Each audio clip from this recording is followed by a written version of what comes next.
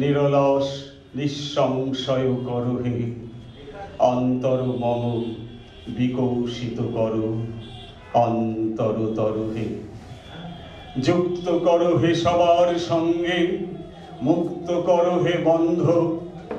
সঞ্চার কর সকল কর্মে, শান্ত তোমার ছন্দ। চরণ পদ্মে মমচিত নিস্পন্দিত করো হে নন্দিত করো নন্দিত করো নন্দিত করো হে। অন্তর মম বিকৌশিত করো অন্তরতর হে। আপনাদের সবাইকে শুভ সন্ধ্যা জানাচ্ছি। বিগত দু বছর আমরা যে অনুষ্ঠানটা আজকে করছি, করতে পারিনি, আপনারা তো সবাই জানেন। তো আজকে আমরা সেই অনুষ্ঠানের অনুষ্ঠান আপনাদের সামনে তুলে ধরছি। আজকে আমাদের সঙ্গে সামনে আছেন বিশেষ অতিথি শ্রী অজয় ভট্টাচার্য মহাশয়। তিনি আমাদের স্মারক বক্তৃতা দেবেন। আধ্যাত্মিকতার আলোয় ভারতীয় দর্শন এর উপরে।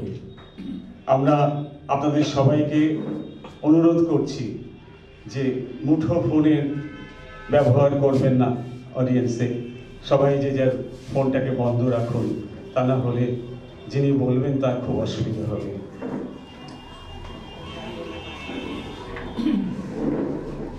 প্রথমে উদ্বোধনী সংগীত পরিবেশন করবেন শ্রীমতী শুভ্রা লালা।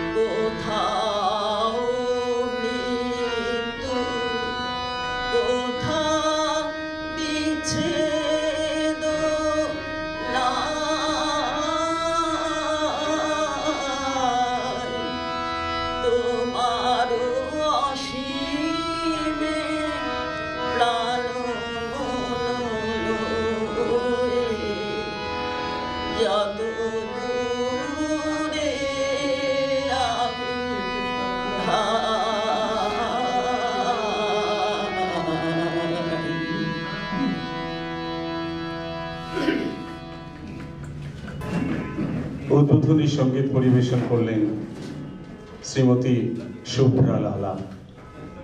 এরপরে স্বাগত ভাষণ এবং শ্রী অজয় ভট্টাচার্য মহাশয়কে আমাদের সঙ্গে পরিচয় করিয়ে দেবেন। আমাদের এই সকলের অতি প্রিয় সভাপতি ডক্টর অলোক গুহ। শ্রদ্ধেয় সুধীমণ্ডলী শুভ সন্ধ্যা। আজ এই বিশেষ দিনটিতে দমদম প্রবীণ নাগরিক কল্যাণ সমিতির পক্ষ থেকে আপনাদের স্বাগত জানাই। দু সালে ইন্ডিয়ান মেডিকেল অ্যাসোসিয়েশন দমদম শাখা উদ্যোগে এই সমিতির জন্ম হয়। উদ্দেশ্য ছিল সমাজের বর্ষিয়ান নাগরিকদের সুখে দুঃখে সাথী হওয়া, তাদের কল্যাণ সাধন করা এবং তাদের একাকিত্ব থেকে মুক্ত করা। বিগত কয়েক বছরে আমরা বেশ কিছু সক্ষম কর্মীকে হারিয়েছি এবং করোনা কারণে অনেক সভ্য বিচ্ছিন্ন হয়ে পড়েছে। ফলে এই সমিতি তার লক্ষ্য থেকে অনেকটাই পিছিয়ে পড়েছে। করোনার কারণে আমাদের বার্ষিক প্রবীর লালা স্মৃতি বক্তৃতা বন্ধ ছিল। দু বছর পর আমরা আবার এই উদ্যোগ নিতে চলেছি। এবছর প্রবীর লালা ছাড়া মায়া ব্যানার্জি স্মৃতি বক্তৃতা দেবেন শ্রী অজয় ভট্টাচার্য, তার পরিচয় পরে জানাচ্ছি। এবছর সমিতির উদ্যোগে এইটি আমাদের তৃতীয় বক্তৃতা। এর আগে অধ্যাপক নিরঞ্জন ভট্টাচার্য বলেছিলেন স্টেম সেল নিয়ে, তারপরের বছর মৌমিতা সাহা দমদম নিয়ে তার গবেষণা পেশ করেছিলেন। অজয় ভট্টাচার্যের পরিচিতি, জন্ম উনিশশো ছেচল্লিশ সালে। পিতা স্বর্গীয় সুকুমার ভট্টাচার্য ছিলেন অ্যাকাউন্টস এবং লয়ের ব্যাপারে স্বনামধন্য ব্যক্তি। পিতামহ অধ্যাপক দুর্গামোহন ভট্টাচার্য এবং মাতামহ আচার্য করুণাময় সরস্বতী। অজয় ভট্টাচার্যের লেখা সাতাশটি গ্রন্থ আছে। সেই বইগুলি মূলত দর্শন, পুরাণ, উপনিষদ, তন্ত্র আধ্যাত্ম এবং আধ্যাত্ম মনীষীদের জীবনী এবং বিভিন্ন ধর্মের মূল উপাদান নিয়ে লেখা। তিনি একজন শিল্পী। আধ্যাত্মিক দর্শন নিয়ে বেশ কিছু চিত্র প্রকাশিত হয়েছে। বিগত কয়েক বছর জাতীয় দূরদর্শনে মহিষাসুর মর্দিনী তার স্তোত্রপাঠ বিশেষভাবে প্রশংসিত হয়েছে। এছাড়া অন্য চ্যানেলেও তিনি নিয়মিতভাবে অংশগ্রহণ করে থাকেন। তার একটি নিজস্ব লাইব্রেরি আছে। লাইব্রেরিতে প্রায় সতেরো হাজারের মতন তার সংগ্রহে আছে। নমস্কার। আজকের অতিথিকে বরণ করে নেওয়ার জন্য আমি অনুরোধ করছি আমাদের সম্পাদক শ্রী কিশোর দিকে। অতিথি শ্রী অজয় ভট্টাচার্য মহাশয়কে বরণ করে নেওয়া হচ্ছে, করছেন আমাদেরই সম্পাদক শ্রী শ্রী কিশোর দেব।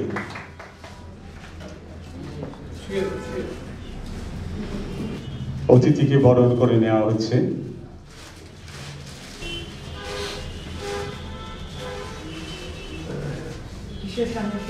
আমাদের সভাপতি শ্রী অনুপ গুহ মহাশয় তাকে শাল পরিয়ে বরণ করে দিচ্ছেন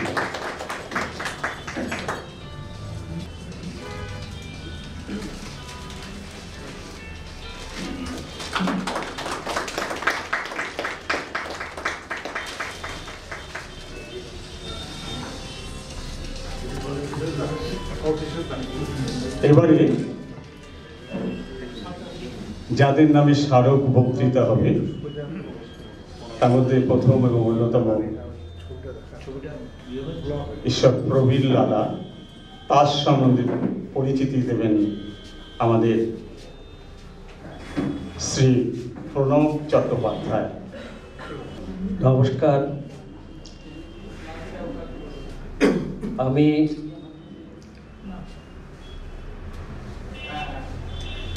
শ্রদ্ধা,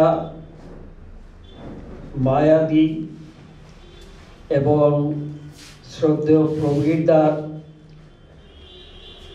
স্মৃতির প্রতি শ্রদ্ধা জানিয়ে প্রবীরদার বর্ণময় এবং কর্মময় জীবনের সংক্ষিপ্ত পরিচিতি দেওয়ার চেষ্টা করছি।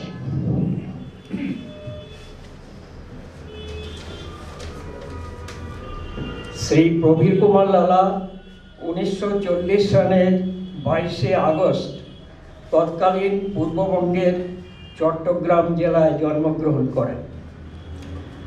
শ্রী লালা ছিলেন উচ্চশিক্ষিত সংস্কৃতি মনস্ক সদা হাস্যময়, এক সহজ, সরল এবং উদার মনের মানুষ। কর্মজীবনে তিনি ছিলেন পশ্চিমবঙ্গ সরকারের একজন উচ্চ পদস্থ আধিকারিক। অতীব দক্ষ, সৎ এবং সেবাপরায়ণ কর্মী হিসাবে তার বিশেষ সুনাম ছিল। শ্রী লালা বিভিন্ন সমাজ সেবামূলক প্রতিষ্ঠানের সাথে যুক্ত ছিলেন। তিনি দমদম প্রবীণ নাগরিক কল্যাণ সমিতির একজন সক্রিয় সদস্য ছিলেন। প্রবীর কুমার লালা দীর্ঘকাল আমাদের সমিতির সহকারী সম্পাদক এবং পরবর্তীকালে সাধারণ সম্পাদকের গুরু দায়িত্ব পালন করেছেন। তার সুদক্ষ পরিচালনায় আমাদের সমিতির প্রভূত অগ্রগতি সাধিত হয়। তার স্ত্রী শ্রীমতী শুভ্রা লালা, অর্থাৎ আমাদের সবার প্রিয় শুভ্রাদিও আমাদের এই সংগঠনের একজন সক্রিয় সদস্যা। দু হাজার আঠারো সালের ষোলোই মে, আটাত্তর বৎসর বয়সে আমাদের সকলের প্রিয় প্রবীরতা পরলোক গমন করেন।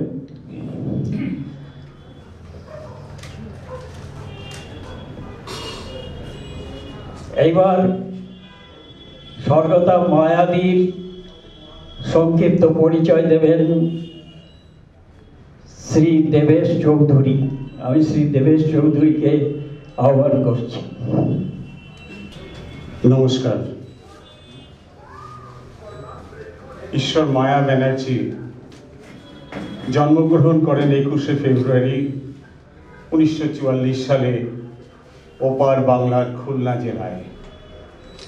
দমদম গার্লস হাই স্কুলে তার বিদ্যালয় জীবন শুরু এবং সেখান থেকেই উনিশশো উনষাট সালে স্কুল ফাইনাল পাশ করেন।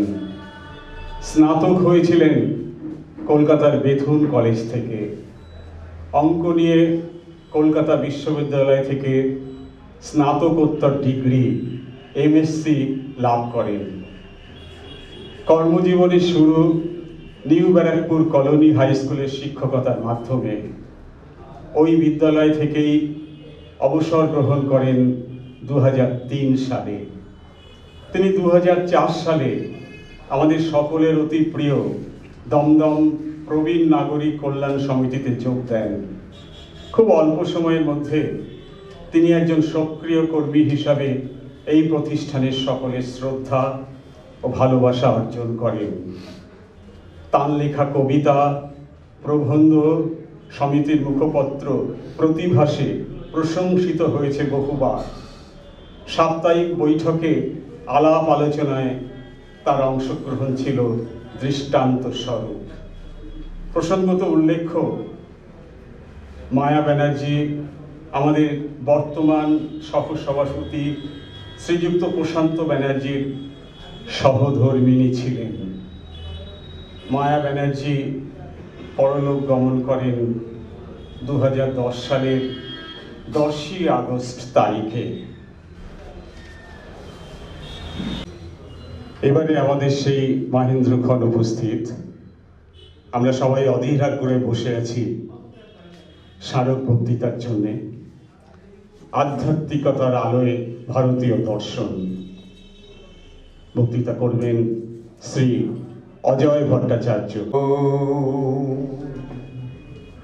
हृदय कमल मध्ये निर्विशेषं निरीहं हरिहर विधि वेद्यं योगिभिर्ध्यानगम्यं जनन मरण भीतिर्भ्रंसि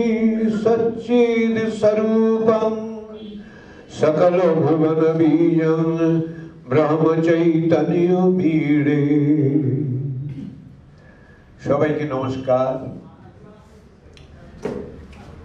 আজকে এই বিশেষ সভায় আহত হয়ে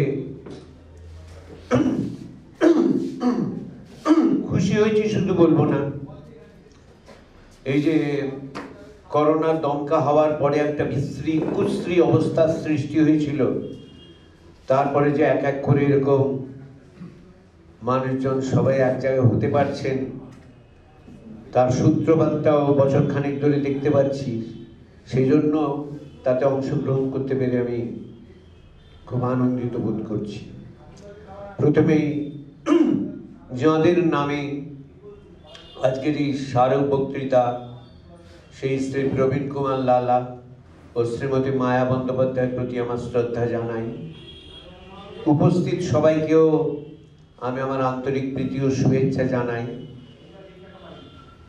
দু হাজার তেইশ সমাগত নতুন বছরের জন্য সবাইকে শুভেচ্ছা জানাই। আগে এখানে আমার একাধিকবার আসা হয়েছে। একবার এসেছিলাম ডক্টর ভট্টাচার্যের বক্তৃতায়। অংশগ্রহণ করতে, তাতে সামান্যভাবে আমার অংশও ছিল গোড়ায় মঙ্গলাচরণে। আর আরেকবার আরেকটি সভায় মৌমিতা সাহার দমদম সম্বন্ধীয় একটি অসাধারণ গ্রন্থের প্রকাশ অনুষ্ঠানেও ছিলাম। তাই আমি একেবারে যে নতুন এখানে তা নয়। যে বিষয়ে আমার এখানে বলার ব্যাপার, এই বিষয়টা আমার অত্যন্ত প্রিয় এবং জায়গায় জায়গায় বলতেও হয় কিন্তু যেমন প্রিয় তেমন ভয়েরও তার কারণ আপনারা যদি একটা, আপনারা যদি একটা সমুদ্রের সামনে গিয়ে দাঁড়ান সমুদ্রের একটি পার্টিকুলার বিচের সামনে গিয়ে বিচে গিয়ে দাঁড়ান, সমুদ্রের একটি রূপ দেখতে পাবেন।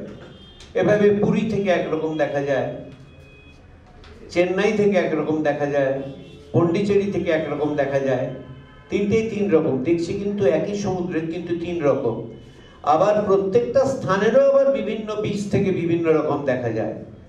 ভারতীয় দর্শনটা এরকম সমুদ্রের মতো। ফলে যে যেখান থেকে যেমনভাবে দেখে সেটার বর্ণনা করেন, ব্যাখ্যা করেন, সূত্র তুলে ধরেন, তার কাছ থেকে সেইটাই প্রকাশিত হয়। কেউ ক্ষুদ্র আধার, কেউ মহৎ আধার, কেউ বিরাট বড় মানুষ, কেউ অতি সাধারণ। কিন্তু সমুদ্র দেখাটা সবারই হয়। ফলে প্রত্যেকের জীবনে একটা দর্শন থাকে। তাকে আমরা চিনি বা না চিনি। সামান্য একটু বয়স হলেই একটা বাচ্চা ছেলের নিজের দর্শন তৈরি হতে থাকে। দর্শন মানে কি? তার ধারণা, তার অভিজ্ঞতা, তার অনুভূতি এগুলোকে নিয়ে। কিন্তু যখন আমরা দর্শনকে একটা বিষয় হিসেবে বলছি, এটা একাডেমিক হয়ে যাচ্ছে। এই একাডেমিক হয়ে গেলেই তখন একটা সমস্যা এসে যায় কোনটাকে দর্শন বলব আর কোনটাকে বলব না। সেই জন্য আমাকেও সেই সীমানার মধ্যেই ঢুকে পড়তে হচ্ছে। সেই সীমানায় ঢুকে আমি বলছি যে ভারতীয় দর্শন কোনো একাডেমিক একটা বিষয় মাত্র নয়, এটা মানুষের জীবনে প্রয়োগে ওতপ্রোতভাবে জড়িয়ে আছে। একটি গ্রামে গিয়ে একটি কৃষকের সঙ্গে আলোচনা করলেও দেখবেন খানিকটা গভীরে গেলে তিনি যদি প্রবীণ হন তার ভিতর থেকে অনেক অনুভূতির এমন কথা আসবে যা বইয়ের পাতায় খুঁজে পাবেন না, কিন্তু মনে হবে একটা অসামান্য সত্যের সন্ধান। সব সময় যে সেটা পাওয়া যাবে তা না, কিন্তু অনেক সময় সেটা হয়। তা আমাদের সূত্রকাররা কি করেছেন? মানুষের সুবিধের জন্য কতগুলো কাঠাময় দর্শনকে তৈরি করেছেন। এর একটা ইতিহাস আছে। এই ইতিহাসটা আমি এই কোটেশন আর বইয়ের উদ্ধৃতি দিয়ে ভরিয়ে বলব না। আমি এখানে একটা গল্পের আকারে জিনিসটাকে আনতে চেষ্টা করব, কারণ প্রত্যেকেই এখানে যথেষ্ট মননশীল, নইলে এই অনুষ্ঠানে আসতেন না তারা। ফলে তাদের কাছে একটা গল্পাকারে যেটা বলতে যাব, সেটা জাস্ট গল্প না, সেটা একটা ইতিহাস। মানুষের এই যে আহার, নিদ্রা আর দৈহিক ভোগের যে নিরাপত্তা, এই নিয়ে যে অন্বেষণ সে হোমোস্যাপিয়ান থেকে শুরু হয়েছিল। তারই যাত্রাপথে মানুষ নিজের মনন শক্তি দিয়ে আগুনকে চিনতে শিখল, ধাতুকে চিনতে শিখল, পৃথিবীকে চিনতে শিখলো বিভিন্নভাবে, নিজের নিরাপত্তার জন্য অনেক কিছু গড়ে তুলতে শিখল। সবটাই হলো কিন্তু জাগতিকভাবে।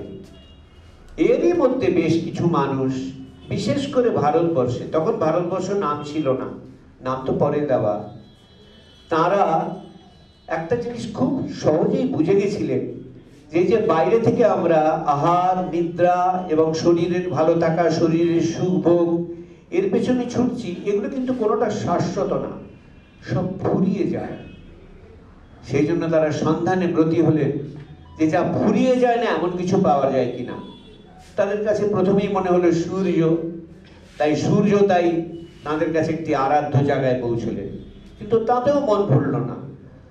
তাদের কাছে একটা ইচ্ছে হলো যে এমন একটা কিছু যদি সন্ধান পাওয়া যায়, ভগবান বলে না কিন্তু। যেটার আশ্রয়ে আমরা থাকলে, আমরা যেই নিরাপত্তার বলয়ে ঢোকবার জন্য আহার নিদ্রা, দেহের সুখ, সুস্থতা, এগুলো পাওয়ার জন্য যে লড়ে যাচ্ছি, সেটা অনিশ্চয়তার মধ্যে দিয়ে হবে না, উদ্বেগের মধ্যে দিয়ে হবে না। একটা নিশ্চিন্ত নির্ভরতার মধ্যে দিয়ে হবে। সেটা কি? সেটা পাওয়া যায়? একটা কাহিনী বলি। একজন এরকম অন্বেষণী মানুষ, তার নাম নারদ। তিনি শুনলেন একজন জ্ঞানী আছেন তার নাম সনত কুমার। তার কাছে কি বললেন? যে, আপনি তো একজন জ্ঞানী, আপনার কাছে একটা কথা বলতে এসেছি। আমি মনে কোনো শান্তি পাচ্ছি না। কারণ জাগতিকভাবে যা যা শেখার আছে, সেগুলো মোটামুটি আমার সমস্ত শেখা হয়েছে। কিন্তু এই দিয়ে এমন কোনো জায়গায় পৌঁছতে পারছি না, যার দ্বারা আমি বলতে পারি আমি নিশ্চিন্ত, নির্ভয়, আমি নিরুদ্বেগ জীবন যাপন করতে পারি। কারণ যাই শিখে থাকি না কেন, তার পাশাপাশি তার অ্যান্টিথিসিস তার বিপরীত জিনিসটা বেশি আমাকে বিভ্রান্ত করছে। ফলে যেটাকে স্বস্তি বলে, সুখ বলে, সেটা পাচ্ছি না। তখন শরৎ কুমার তাকে বললেন যে, দেখো বাইরে যা পাচ্ছ সে তো ফুরিয়ে যাবেই। নালবে সুখমস্তি ভূমাইব সুখম। যা কিছু দেখছ সেটা অল্প, যত বড়ই দেখো, সেটা ফুরিয়ে যাবেই, সেটা আসলে অল্পই। এমন কিছু সন্ধান করতে হয়, যেটা ফুরোয় না। সেটা কি? দেখো, তুমি যা কিছু অভিজ্ঞতা সঞ্চয় করেছ নারদ, সেগুলো ফুরিয়ে যাচ্ছে, তুমি কিন্তু ফুরোচ্ছ না। কারণ তুমি জ্ঞাতা হিসেবে সেই অভিজ্ঞতাটার জানবার ক্ষেত্র হিসেবে তুমি কিন্তু ঠিক একই থেকে যাচ্ছ। পাল্টে যাচ্ছে জানার বস্তুগুলো। যখন খাচ্ছ, সেই খাদ্যবস্তু ফুরিয়ে যাচ্ছে এক সময়। আবার খাচ্ছি, খেতে যাচ্ছ, তখন সেটা খাদ্য হিসেবে তোমার কাছে আসছে। তুমি কিন্তু সেই একই থাকছো। তুমি যখন নিদ্রায় যাচ্ছ, তোমার শরীরের সুখের জন্য যখন কোনো ক্রিয়ায় যাচ্ছ, সেটা ফুরিয়ে যাচ্ছে। তুমি কিন্তু একই থাকছো। নারদ বললেন, "তা- এর অর্থ কি? এর থেকে আমি কি সিদ্ধান্তটা করব? বললেন তার মানে যে অবস্থায় থাকো না কেন যখনই যেমনই থাকো না কেন, তুমি আহারে থাকো, নিদ্রায় থাকো, কোনো ক্রিয়ায় থাকো, সবের আড়ালে তোমার সত্তাটা কিন্তু একরকম আছে। তখন নারদের প্রশ্ন হলো যে, আমি যখন কম বয়সে ছিলাম, তখন তো একরকম আমি ছিলাম। এখন আমার বয়স হয়েছে, আমি এখন যুবক, এখন আরেক রকম আমি বললেন, না, তোমার আমি পাল্টাইনি। আমি অভিজ্ঞতা পাল্টেছে। আমিটি তোমার মধ্যে অপরিবর্তনীয় আছে। এই অপরিবর্তনীয় আমি কিন্তু তুমি, তোমার বাইক, তুমি যখন ভাবছ আমি কি সত্যি আছি, তাহলেও তোমার আমি লাগছে। তাহলেও তোমার তার পেছনে জ্ঞাতাটা থেকে যাচ্ছে। আমি কি একদিন শেষ হয়ে যাব এটা ভাবছ যে তারও পেছনে কিন্তু তুমি জ্ঞাতা হিসেবে তুমি থেকে যাচ্ছ। তাহলে প্রত্যেকের মধ্যে এই জ্ঞাতা হিসেবে আমিটি আছে। এই আমিটিকে চিনতে চেষ্টা করো। তখন বলে, এই তো যা দেখছি। বলে, না, তুমি যে পরিচয়ই দেখো না কেন, তোমার স্ত্রীর কাছে তুমি তার স্বামী হিসেবে তোমার আমিত্ব তোমার সন্তান যদি থাকে, তুমি সন্তানের কাছে তার বাবা হিসেবে তোমার আমিত্ব তোমার সম্পত্তির জায়গায় তুমি এই সম্পত্তিটা আমার বলে তোমার আমিত্বটা তোমার নিজস্ব আমিত্বের কোনো জায়গা নেই, সব কিছুর সাপেক্ষে। নিজের স্বরূপটিকে নিজের শুদ্ধ আমিত্বটিকে খোঁজো। সেটা কিন্তু সর্বাবস্থায় একরকম। কীরকম? তুমি যখন জেগে আছো সমস্ত ব্যাপারগুলো তোমার মনের সামনে ঘটছে। তুমি দেখছ। তুমি যখন নিদ্রায় যাচ্ছ, স্বপ্নে যাচ্ছ, তখন সেগুলো কোথায়? তখনও কিন্তু তুমি আছো। তখন তোমার মনোজগতে, স্বপ্নের জগতে যা দেখছ, সেটা শুধুমাত্র তুমি দেখছ, অন্যরা দেখছে না। তুমি কিন্তু ঠিকই আছো। আর যখন তুমি স্বপ্নহীন, নিদ্রায় আছো, তখন কোনো কিছুই নেই, অথচ তুমি আছো। তাহলে কোনটা সত্য? ওইগুলো সত্য না তোমার আমিতে থাকাটা সত্য? তোমার আমিতে থাকাটাই সত্য। তার মানে তোমার যে আসল আমিত্ব, এটা তোমার এই নারদ আমিত্ব নয়। যেটাকে আমরা ইংরেজিতে ইগো বলি। তোমার অস্তিবোধের আমিত্ব, তোমার আত্মবোধের আমিত্ব। তো সেটা জেনে কি হবে? বলে, তুমি যেই মুহূর্তে তোমার নিজের কিছু সাপেক্ষে নয়, এরকম পরিচয়টাকে পাবে, তখনই তুমি জানবে সবারই তাহলে সেটা। কারণ সবারই যা কিছুর সাপেক্ষে পরিচয় সেগুলোকে সরিয়ে দিলে যেটা থাকে, সেটা শূন্য নয়, সেটা একটা বোধ। তাহলে সেই বোধে তুমি সবার সঙ্গে এক। এই বোধটার নামই হলো আত্মবোধ। আর এই বোধটা, যদি বলো তোমার দেহের দ্বারা আটকে রয়েছে, না, দেহ তো পরিবর্তনশীল। তোমার পাঁচ বছর বয়সের সময় যে দেহ ছিল, সে দেহ কোথায়? কিন্তু তোমার আমিটা একই আছে। তার মানে তোমার এই আমিত্বের যে স্বরূপ এটা দেহর দ্বারা আটকে নেই, দেহে ধরা পড়ছে মাত্র। আজকের উদাহরণে সুন্দর করে বলা যায়, ট্রানজিস্টার রেডিও আপনাদের মনে আছে কিনা জানি না। ট্রানজিস্টার রেডিওয়ে আমি খেলা শুনছি, আমাকে পাশের কেউ এসে বললেন, অসুবিধে হচ্ছে, আপনি একটু ওদিকে গিয়ে শুনুন। আমি যাচ্ছি। বলে, আরেক জায়গায় গিয়ে শুনলাম। আমি কি খেলার মাঠটাকে আমার রেডিও করে সঙ্গে নিয়ে গেলাম? না। তাহলে ওখানে গিয়ে আমি শুনলাম কি করে? কারণ সাউন্ড ওয়েভের মধ্যে ওটা সর্বত্রই আছে, ফলে আমি যেখানেই যাব ঠিক মতো ধরলেই ওটা ধরা পড়বে। হয়তো কোনো জায়গায় ভালো ধরা পড়বে, কোনো জায়গায় খারাপ ধরা পড়বে, ঠিক তেমন। আমাদের মধ্যে সেই এক আমিই ধরা পড়ছে, এক একটা দশায়। আমাদের যখন ঘুমিয়ে থাকছি, সেই আমিটা ধরা পড়ছে নিদ্রার অভিজ্ঞতা নিয়ে। আমি যখন খাচ্ছি ঘুমো ক্রিয়া করছি কোনো, তখন সেই আমিটাই ধরা পড়ছে, সেই ক্রিয়াবাচক দিক দিয়ে। তার মানে আমির একটা স্বতঃসিদ্ধ প্রকাশ রয়েছে। আমার বলছি না, আমির। একজন খুব বড়, আমি একটু গল্পে ঢুকছি। একজন খুব বড় জ্ঞানীর কাছে একজন জিজ্ঞাসু গেল যে, আপনার, আপনাকে সবাই জ্ঞানী বলে মানে আপনাকে সবাই জ্ঞানী বলে সম্মান করে, আপনার অভিজ্ঞতার বিশেষ জায়গাটা কি? একটু বলবেন? বলল, হঠাৎ জানতে চাইছেন না, আপনি তো সেই একই আছেন। তাহলে আপনার বোধের জায়গাটা কি তফাৎটা হয়েছে? বলে দেখো বৎস। খুব ভালো করে আমার কথাটা লক্ষ্য করো। মানে উনি বলছেন বলে আমি তুমি তুমি করে বলছি, আপনারা বুঝে নেবেন। প্রথমে আমি দেখতাম সব আলাদা।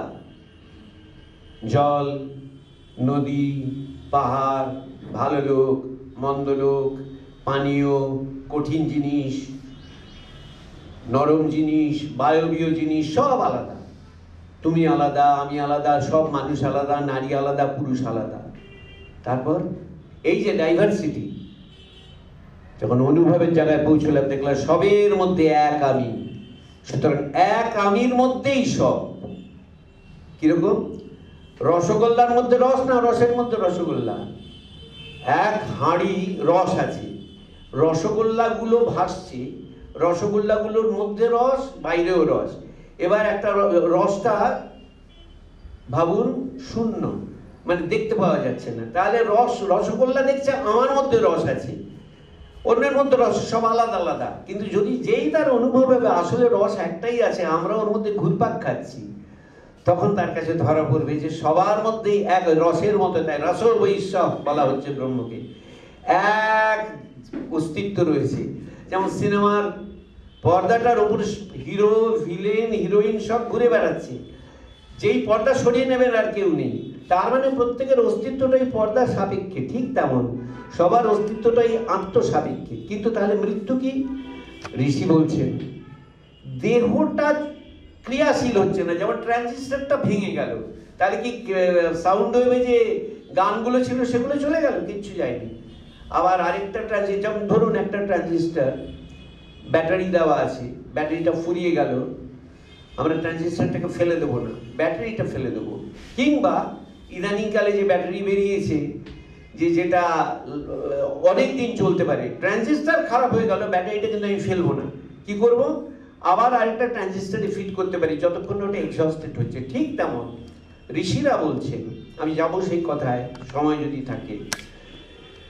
যে আমাদের মধ্যে একটি সূক্ষ্ম দেহ আছে, সেইটা যতক্ষণ দেহের মধ্যে আছে, ততক্ষণ আমার মধ্যে আমিটা ধরা পড়ছে।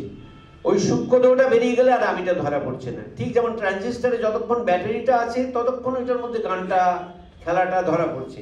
ব্যাটারিটা বেরিয়ে গেলে ওই যন্ত্রটা শেষ। তখন ওই ব্যাটারিটা নতুন আরেকটায় লাগানো যাবে। ঠিক তেমন এই সূক্ষ্ম দেহ তার বাকিটুকু নিয়ে ঋষিটা তো আর ট্রানজিস্টার জানতেন না, আমি বোঝাবার সুবিধার্থে বলছি। ওটা আবার আরেকটা রেডিওয়ে তখন ব্যবহার করতে পারবে। ঠিক তেমন আমাদের মধ্যে দিয়ে সূক্ষ্ম দেহ অতিক্রান্ত বেরিয়ে চলে গেলে, সেটা আরেকটা দেহে গেলে ওই এক আমিকেই আবার সেই দেহে ধরা পড়াচ্ছে। সেই বৃত্তান্তে আমি ঢুকবো না। ঋষিকে তখন বললেন, সেই প্রশ্নার্থী, আপনি বললেন সব আলাদা দেখতেন তারপর দেখলেন সব এক। এই তো শেষ কথা বলে না। এই এক দেখার পর ফের আবার দেখলাম সব আলাদা। বলে, তাহলে হলো কি? বলে, তফাৎটা হলো আগে সবকে বিচ্ছিন্নতা বোধে দেখতাম। ও আলাদা, আমি আলাদা, এ শত্রু, এ মিত্র, এ বন্ধু, এ ভালো, এ মন্দ। যখন সব এক দেখলাম, তারপরে যখন আবার ফিরে এসে ফের সবাইকে আলাদা দেখলাম, তখন জানলাম, সবার মধ্যে এক আমি। ভালো, মন্দ সমস্তটা আপেক্ষী সবার মধ্যে আমি যখন কাউকে ঘৃণা করছি, কাকে ঘৃণা করছি? আমাকেই ঘৃণা করছি। আমি যখন কারোর প্রতি মোহগ্রস্ত হচ্ছি, তখন কার প্রতি মোহগ্রস্ত হচ্ছি? আমার প্রতি মোহগ্রস্ত হচ্ছি। আমি যখন কারোর প্রতি বিদ্বেষ করছি, কার প্রতি বিদ্বেষ করছি? এক আমার প্রতি বিদ্বেষ করছি। সুতরাং তফাতটা হলো, আমার মধ্যে ব্যবহারিকভাবে সবই থাকবে, নিচতা থাকবে না, হীনতা থাকবে না।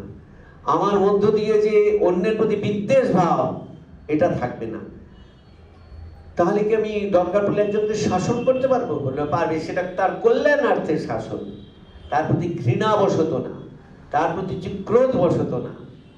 তখনই তোমার সত্যিকারের মনুষ্যত্ব। তাই শঙ্করাচার্য বলছেন, মনুষ্যত্বং মুমুক্ষত্বং মহাপুরুষ সংশ্রয়। যে মনুষ্যত্ব বোধে যা না জাগলে মুমুক্ষত্ব জাগবে না, এই বোধটাই নিতে পারবে না। সুতরাং মনুষ্যত্বের জায়গায় তোমরা তৈরি হও। সেই মনুষ্যত্বের জায়গা থেকে অন্বেষণ করো ভেতর। যতক্ষণ তোমার মনুষ্যত্ব না আসছে, যতক্ষণ পাত্রটা পরিষ্কার না হচ্ছে অলকদা হাজার ডিস্টিল ওয়াটার দিলেও আমি ওই পাত্র নিয়ে পেতে পারব না। যতবার উনি দেবেন, ততবার সেটা নোংরা হয়ে যাবে, কারণ পাত্রটা অপরিষ্কার। ঠিক তেমন যতক্ষণ আমার মধ্যে মনুষ্যত্ব বোধের প্রতিষ্ঠা না হচ্ছে, আমার কাছে আধ্যাত্মিকতা একটা খালি তত্ত্ব মাত্র, কথার কথা মাত্র, গ্রহণযোগ্যতার কোনো জায়গা থাকবে না। সুতরাং আমার পরিষ্কার হওয়া মানে কি? গীতায় বলছেন, দৈবী সম্পদ। ছাব্বিশটা সম্পদের কথা বলেছেন, আমি এখন গীতার আলোচনায় ঢুকবো না। কারণ ভারতীয় দর্শনের সম্ভারটা গীতা কেন্দ্রিক নয়, গীতা তার একটা অংশ মাত্র। আমি আরেকটা কাহিনীতে আমি যেতে চাইছি। নারদ সনুদ কুমারেরটা বললাম। আপনাদের লক্ষ্য করেছেন নিশ্চয়ই। নারদ অনেক ব্যাপারে পণ্ডিত, পাণ্ডিত্য সত্ত্বেও শরৎ কুমার বললেন, ওই পাণ্ডিত্য সব জিনিস জানিয়ে সব ফুরিয়ে যাওয়ার। তুমি আত্ম অন্বেষণ করো। সেই সেই জাগরণই তোমার সত্যিকারের জাগরণ। এই যে আরেক গুরুর কথা বললাম, তিনি বললেন কি, সবার মধ্যে এক বোধ যে সেই এক বোধে জাগরণই হলো জীবনের সার্থকতা। তারপরে আবার ফিরে এসো, আবার সংসার জীবনে আসো। তারা সন্ন্যাসের কথা বলেননি। সংসার জীবনে আসো, ক্রিয়ায় আসো। অন্য মানুষ হয়ে যাবে। কি? তুমি এক, প্রথম কথা তুমি জানবে, সবার মধ্যে একের প্রকাশ, দ্বিতীয় কথা তুমি জানবে যে কোনো ব্যবহারটাই বাদ হবে না, কোনো ক্রিয়াটাই জীবন থেকে বাদ হবে না, শুধুমাত্র একটি ক্রিয়া ছাড়া। কি সেটা?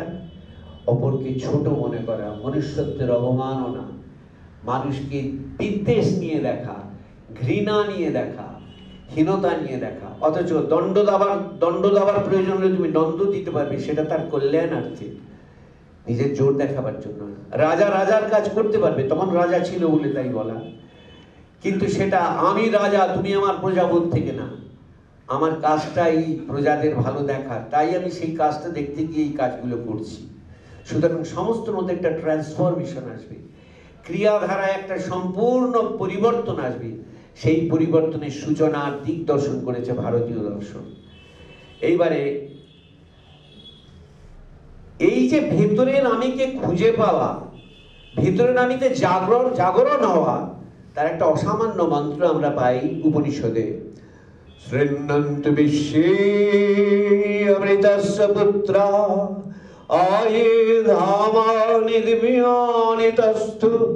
वेदाहमेतं पुरुषं महान्तम् आदित्यवर्णं तमसा परस्ता। तमेव विजित्वादिमृत्युमेति नान्यः पन्था विद्यते अयनाय। নান্যঃ পন্থা বিদ্যতে অয়নায় নান্যঃ পন্থা বিদ্যতে অয়নায় রবীন্দ্রনাথ এটি একটু অসামান্য অনু- অনুবাদ করেছেন। আমার লোভ হচ্ছে একটু করে, আপনারা অনুমতি দিলে একটু করতে পারি। রবীন্দ্রনাথ বলছেন, একদায় ভারতের কোন বনতলে কি তুমি মহান প্রাণ, কি আনন্দ বলে উচ্চারি উঠিলে উচ্চে? শোন বিশ্বজন, শোন অমৃতের পুত্র যত দেবগণ দিব্য ধামবাসী আমি জেনেছি তাহারে মহান্ত পুরুষ যিনি আধারের পারে জ্যোতির্ময়। তারে জেনে তার পানে চাহি মৃত্যুরে লঙ্ঘিতে পারো, অন্য পথ নাই। আর বারে ভারতে কি দিবে গোয়ানি সে মহানন্দ মন্ত্র, সে উদাত্ত বাণী সঞ্জীবনী। মৃত্যুঞ্জয় সেই একান্ত নির্ভয় অনন্ত অমৃত বার্তা। রে মৃত ভারত, শুধু সেই এক আছে, নাই অন্য পথ। রবীন্দ্রনাথ সারা জীবন সেই অন্বেষণে ছিলেন। বিবেকানন্দ তাতে প্রতিষ্ঠিত ছিলেন। শ্রী অরবিন্দ তার কথা শিখিয়েছেন। রামমোহন সেই আমিত্বের জায়গায়, সেই প্রকৃত আমিত্বের জায়গায় এসে মানুষকে জাগরণ শিখিয়েছেন, ভারতকে নতুন সমাজ দিয়েছেন, নতুন ধারা দিয়েছেন। এই যে এদের কথা বললাম, এরা জায়গাটা পেয়েছেন কোথায়? আব- আবার সেই বলি, আমাদের উপনিষদ। এবার উপনিষদের জায়গাটা কীরকম? যখন এর জ্ঞানের ব্যাপারগুলো মানুষের কাছে আচ্ছা আপনাদের কাছে বোরিং লাগছে না তো? আমি কাউকে তত্ত্বকথার ভারে কিন্তু আটকাতে চাই না। কন্টিনিউ করি? যখন এই যে মননশীলভাবে মানুষ মনের জগতে ঢুকে, বাইরের জগতের অন্বেষণে তো এক একদল মানুষ রইলেন।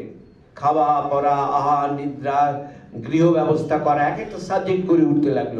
ভূগোল, ইতিহাস, বিজ্ঞান, সাহিত্য সব কিছু এইভাবে করে উঠেছে। আরেক দল কি করলেন? মনের অন্বেষণে, মননের অন্বেষণে। কারণ আমাদের এভলিউশনারি ট্র্যাকে দেখা যাচ্ছে, মানুষই একমাত্র যে, যার মনন ক্ষমতা আছে, যার ক্রিয়েটিভিটি আছে। তারা মননটাকে বাইরের ক্রিয়েটিভিটিতে না নিয়ে ভেতরের অন্বেষণে দিলে যে আমার সাপেক্ষের পরিচয় মানে my identity with respect to something else অন্য কিছুর সঙ্গে সাপেক্ষে, স্ত্রীর সাপেক্ষে স্বামী পরিচয়, স্বামীর সাপেক্ষে স্ত্রী পরিচয়, সন্তানের সাপেক্ষে বাবা পরিচয়, বাবার সাপেক্ষে পুত্র পরিচয়, এইগুলোকে শুনিয়ে আমার পরিচয় আমার কাছে কি? এই অন্বেষণের জন্য যা প্রত্যেকের আলাদা। প্রত্যেকের ক্ষেত্রে সে বিচারটা আলাদা। এই করতে করতে যখন তাদের ক্ষেত্রে ওই সেই শ্রীনন্দ বিশ্বের যে এক্ষুনি বললাম, কি ওইখানে কথাটা বলা? সবার মধ্যে এক মহান্ত পুরুষ আছেন। এখানে মহান্ত মানে কিন্তু, পুরুষ মানে কিন্তু বেটা ছেলে না। এখানে পুরুষ অর্থ, পুরুষের দুটো অর্থ। পুরুষ মানে যা সবার হৃদয় পুরীতে বাস করছে। সবার মধ্যে যেটা আছে। সেই মহান্ত পুরুষের সন্ধান তুমি পেলে, তুমি স্টেশন হতে পারবে সত্যিকারের নির্ভয় জায়গা কেন নির্ভয়? তুমি তখন জানবে আমি কাকে ভয় পাবো? তার মধ্যে এক আমি। তাহলে আমি ভয় পাবো না, আমি দেখছি এক জায়গায় আগুন। আমি কিন্তু সরে যাব না, নিশ্চয়ই যাব। একটা সাপ আসছে ছবল দিতে, আমি সরে যাব না, যাব। সেটা ভয় না, প্রয়োজনে। আমরা ভয় আর প্রয়োজনীয়তাটাকে এক করে ফেলে খুব বিপদে পড়ি। একটা অসুখ হয়েছে একজন এক্ষুনি হাসপাতালে নিয়ে যাও। ওটা ভয়ে না, ওটা প্রয়োজনে। আমাদের তাকাই যদি যে একটা হলো মূল্যবোধ কেন্দ্রিক, আরেকটা হলো ভয়। ভয়টা এসে আমাদেরকে দুর্বল করে দেয় কিন্তু। আমরা যদি সেই ভয়ের সময়টায়, যেটা কৃষ্ণ অর্জুনকে বারবার শেখাচ্ছেন যে, তুমি হেরে যাও, আপত্তি নেই যুদ্ধে, কিন্তু তুমি চেষ্টা করে হারো। তুমি জানবে আমার চেষ্টাটা আমি করেছি। কিন্তু তুমি যদি ভয়ে সরে যাও, এই আমার আত্মীয়, এই আমার জ্যাঠা, এই আমার মামা, এই আমার কাকা, তাহলে কিন্তু তোমার পতন অনিবার্য। কিন্তু তুমি যদি যুদ্ধে হেরে যাও, কিন্তু লড়ে, তাহলে জানা যাবে যে তুমি একবারও বলেননি তুমি জিতবে। অদ্ভুত কথা কিন্তু। কৃষ্ণ একবারও অর্জুনকে বলেননি, তুমি জিতবে। তুমি যদি হেরেও যাও, তুমি জানবে তুমি চেষ্টা করে হেরেছো। সেটাই, যতক্ষণ আমার মধ্যে চেষ্টা করার বোধ আমাকে লড়ে যেতে হবে, কিসের বিরুদ্ধে? অপরের প্রতি শত্রুতার বোধ থেকে না, অন্যায়ের বিরুদ্ধে এই অন্যায়টার মূলে কি? সেন্স অফ সেপারেটনেস আমি আলাদা, ও আলাদা, এ তাহলে আমরা যখন ব্যক্তি জীবনে বিপদে পড়ি আমাদের ভারতীয় দর্শন শেখাচ্ছে, সেখানে প্রয়োজনীয় যা কিছু করো, ভয় পেয়ে না। প্রয়োজন প্রতি তাতে যদি দেখো যদি না পারি, ওটিকে মনে স্থান দিও না। যতটা পারো করো। ওই যদি না পারি, যদি ভেবে ভেবে করতে যাই, আমার কাজটা কিন্তু আটকে যাবে। অনেক অসুবিধায় পড়ব। কিন্তু যদি শান্ত মনে সমত্বে রেখে ওই কাজটাই করি, যা করতে পারতাম, তার থেকে কিন্তু বেটার হবে। কারণ ওখানে ডিস্টার্বিং এলিমেন্টটা আমার মধ্যে থাকছে না। যেটা করার আমি করছি সাকসেস হবে কিনা ইজ নট দি পয়েন্ট কিন্তু সাকসেস হবে কি, হবে না, ভেবে আমি চিন্তা করে যদি কাজটায় ঢুকি, বাবা, পারব তো, পারব কি? তাহলে আমি ডিস্টার্বিং এলিমেন্ট একটা আমার মধ্যে রয়ে গেল কিন্তু, উদ্বেগ। এবার আমি ওই ডিস্টার্বিং এলিমেন্টটা ছাড়া যদি করি, তাতেও হয়তো আমি পারব না। কিন্তু ওই উদ্বেগ নিয়ে করলে যা পারতাম, তার থেকে বেটার পারব। একটা ছেলে পরীক্ষার খাতায়, বাবা পাস করব কি? এই ভেবে যদি করতে সে ফেল করতে পারে। এবার সে প্রচণ্ড চেষ্টা করে, তাতেও হয়তো খুব ভালো রেজাল্ট করবে না। কিন্তু দেখা যাবে সে উদ্বেগটা ছিল না বলে সে কিন্তু পাশ করে বেরিয়ে যেতে পারে। অর্থাৎ প্রত্যেকেরই একটা আধারগত বৈষম্য আছে, মেধার তফাত আছে। থাকলেও প্রত্যেকের মধ্যে কিন্তু আছে সেই কসমিক এনার্জি কারণ আমরা সৃষ্ট হয়েছে নিজের ইচ্ছায় না। কসমসের প্রোডাক্ট আমরা একটা সমুদ্রে অজস্র ঢেউ।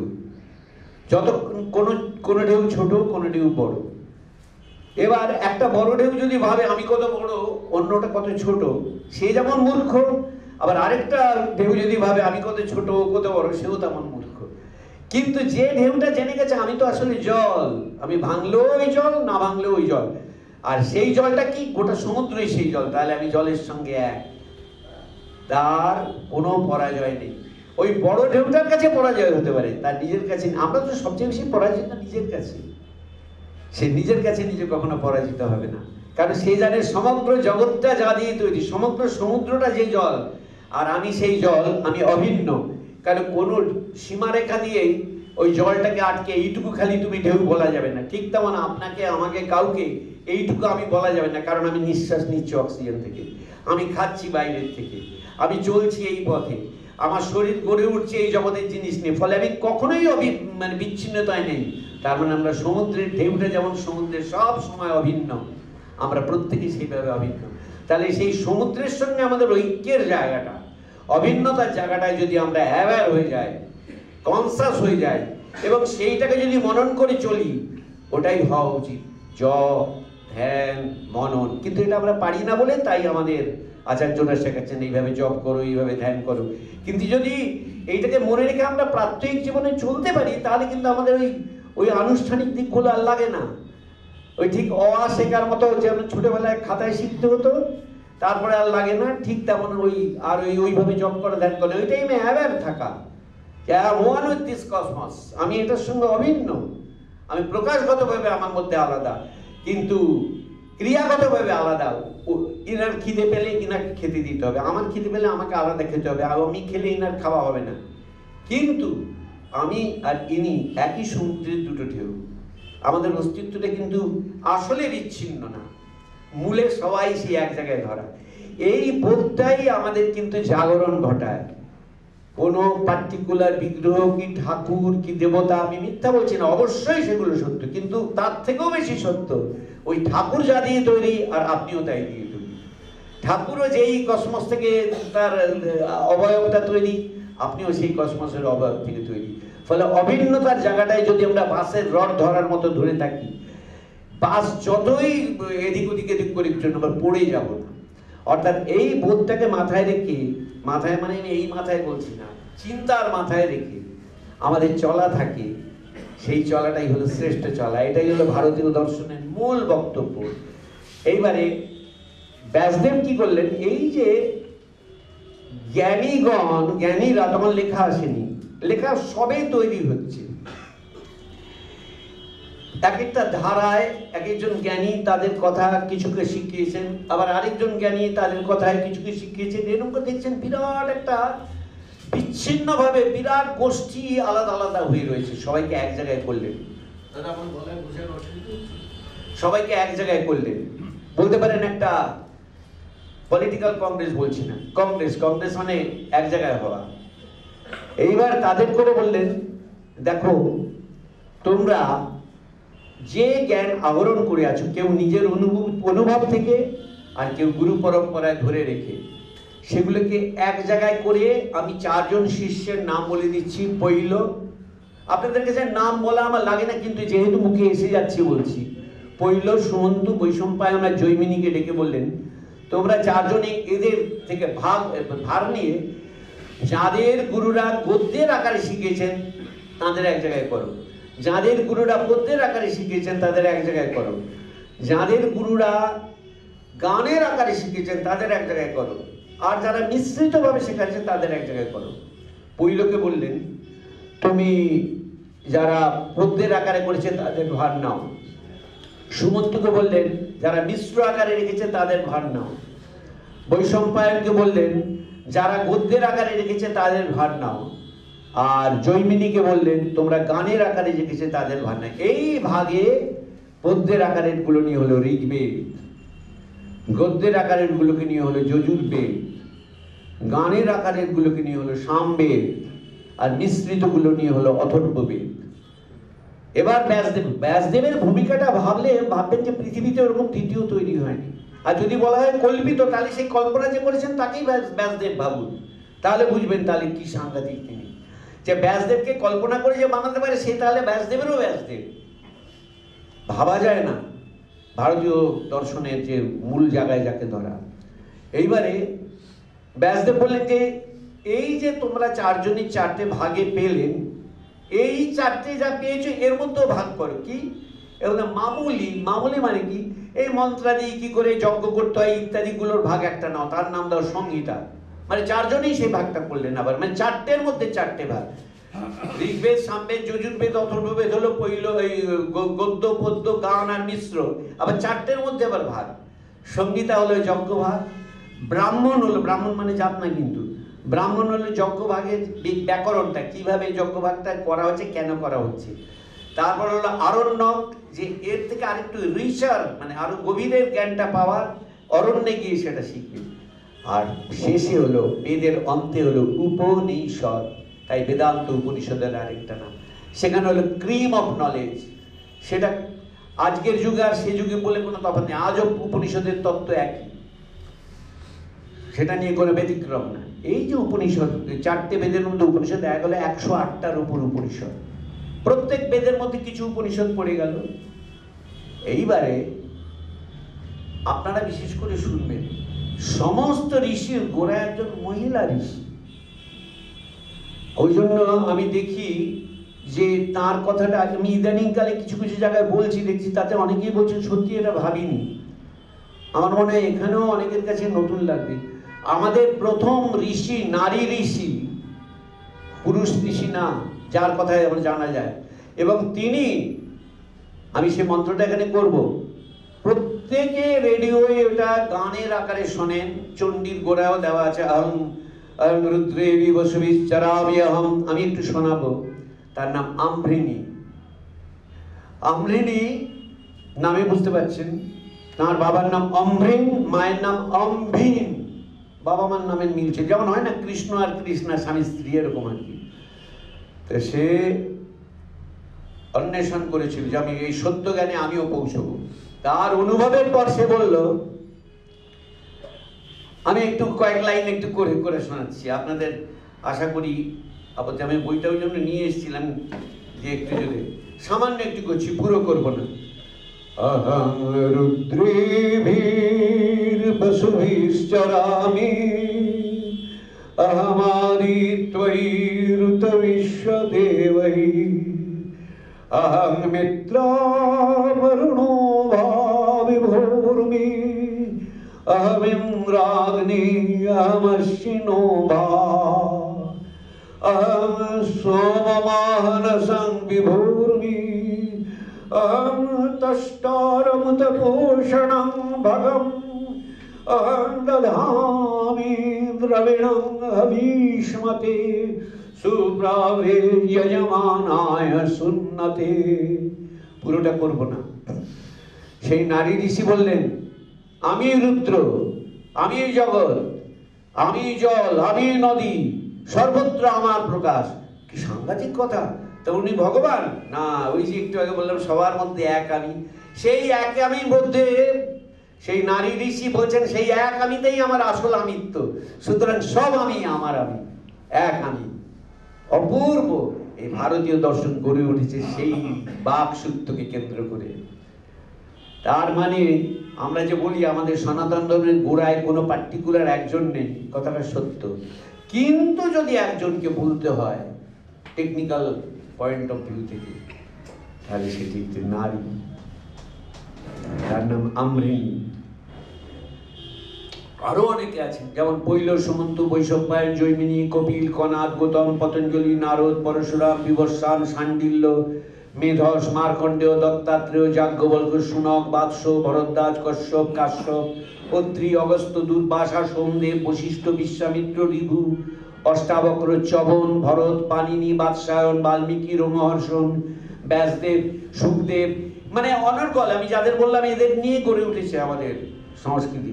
এরা তো আমার প্রাণের মানে আমার নয় যে কোনো সচেতন যে একটু জানতে যাবে তার প্রাণের সঙ্গে এরা মিশে থাকবেন, কারণ এদের প্রত্যেকের মধ্যে কিছু না কিছু জায়গায় গড়ে উঠেছে আমাদের সভ্যতা, আমাদের সংস্কৃতি। যেটাকে আমরা ভুলে পাশ্চাত্যে, আমি পাশ্চাত্যকে ছোট করছি না, পাশ্চাত্য আমাদের অনেক কিছু দিয়েছে, চিকিৎসাবিদ্যার অনেক উন্নতি ঘটিয়েছে। কিন্তু সংস্কৃতিতে এই কথাটা বিবেকানন্দ বারবার শ্রী অরবিন্দ আর বিবেকানন্দ বুঝিয়েছেন। সংস্কৃতিতে যে জায়গায় ভারতবর্ষ আজ থেকে সাত বছর, সাত, আট হাজার বছর আগে উঠে রয়েছে, তার সিকিভাগও এখনও পাশ্চাত্য ওঠেনি। তার মানে আমি নিন্দে করছি তা নয়। আমরা অত্যন্ত অলস বলে সেদিকে না তাকিয়ে ভিক্ষা পাত্র হাতে বাইরের দিকে তাকিয়ে তাদের আচার, অনুকরণ সব নিয়ে পড়ে আছি।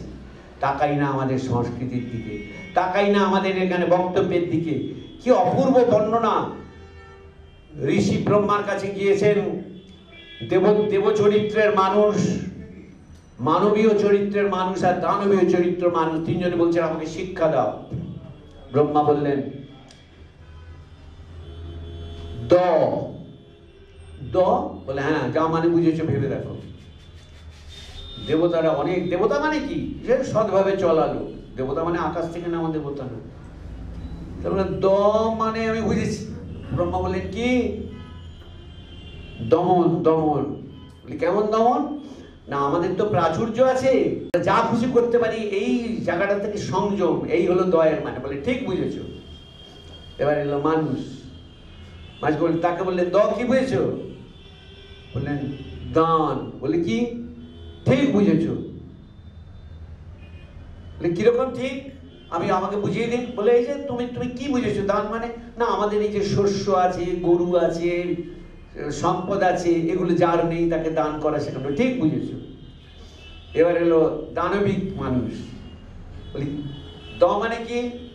মানে দয়া। বলে, কি? বলে, আমরা খুব নিষ্ঠুর। আমরা কেউ আমাদের বিপরীতে গেলে তাকে শেষ করে দেওয়ার কথা ভাবি ওই নিষ্ঠুরতাটা বর্জন করতে হবে। আমাদের তার প্রতি করুণা করতে হবে, দয়া করলে ঠিক বুঝেছ। এই হলো পরিষদের বাণীর শুরু। তার মানে ভারতীয় দর্শনের শুরুর জায়গায় আমরা পেলাম একজন নারীকে যেমন তেমন পেলাম। যে যে যা করছ করো, যার প্রাচুর্য আছে, সে চেষ্টা করো সবার মধ্যে ভাগ করতে সেটা। যার ভোগের ক্ষমতা ভালো আছে, সে সংযতভাবে নিজের মননশীল হয়। যার ক্রোধ, নিষ্ঠুরতা এগুলোই বড় হয়ে জীবনে আছে সেগুলো সংবরণ করে মনুষ্যত্বে জাগ্রত হয় এই হলো পরিষদের ধারা।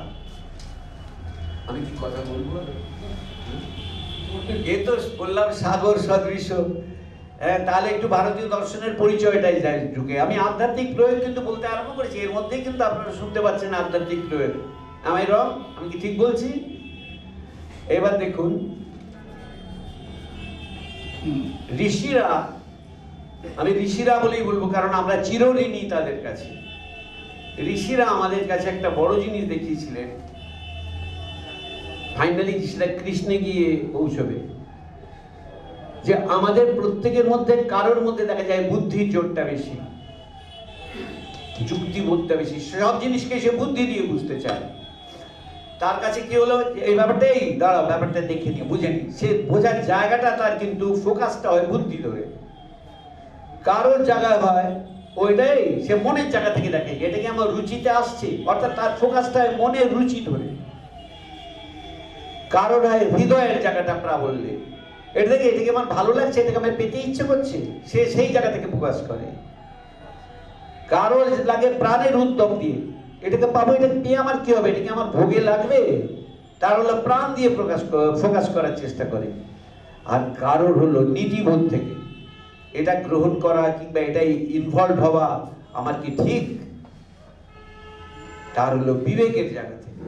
তাহলে আমরা, আমাদের বোধবৃত্তি, যেটাকে ভুল করে আমরা বলি মন, আসলে মন এই বোধবৃত্তিরই একটা সাইড বোধবৃত্তির ফাংশনটা কি?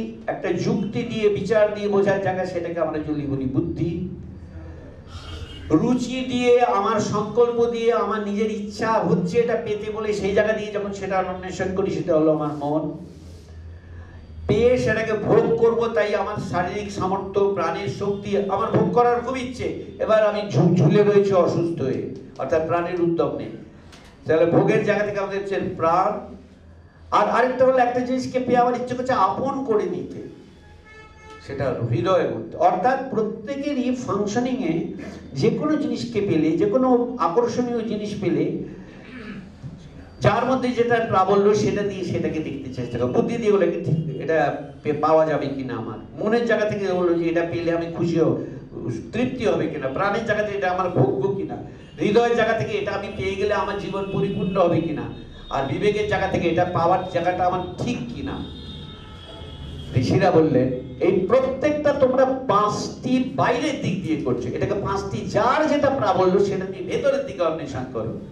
তাহলে যুক্তিবোধ যার, সে যখন সত্যের অন্বেষণ করবে, তারপর থেকে তাই বলা হচ্ছে জ্ঞান যুগ অর্থাৎ তুমি এই বুদ্ধিকেই, যুক্তিকেই প্লাস পয়েন্ট করে, যুক্তিকেই তোমার শক্তিশালী আধার করে, অস্ত্র করে তুমি এগিয়ে যাও। কিন্তু যে হৃদয় নিয়ে এগোচ্ছে তাকে কিন্তু ছোট করো না। তুমি তো একটা ভক্তির লোক, তা নয়। তারটা তাকে, তার ওইটাই সম্পদ। তুমি যুক্তির জায়গা থেকে এগো। যার মনের জায়গায় এটা নেব, ওটা নেব, এটা চাই, ওটা চাই তাহলে এটাকেই তুমি ইগনোর করো। এই চাওয়াটাকে তুমি ঘুরিয়ে দিয়ে ভেতরে তোমার আনফোল্ডমেন্ট করো। তোমার আসল আমি সত্তা কে চাইছে সেটার অন্বেষণ করো। এই ধ্যান যুগের পথ রাজযোগ বলা হয়।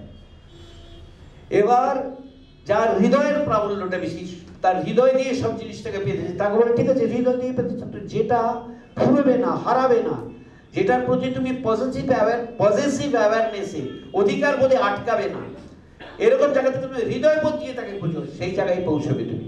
তারটা হলো ভক্তিযোগ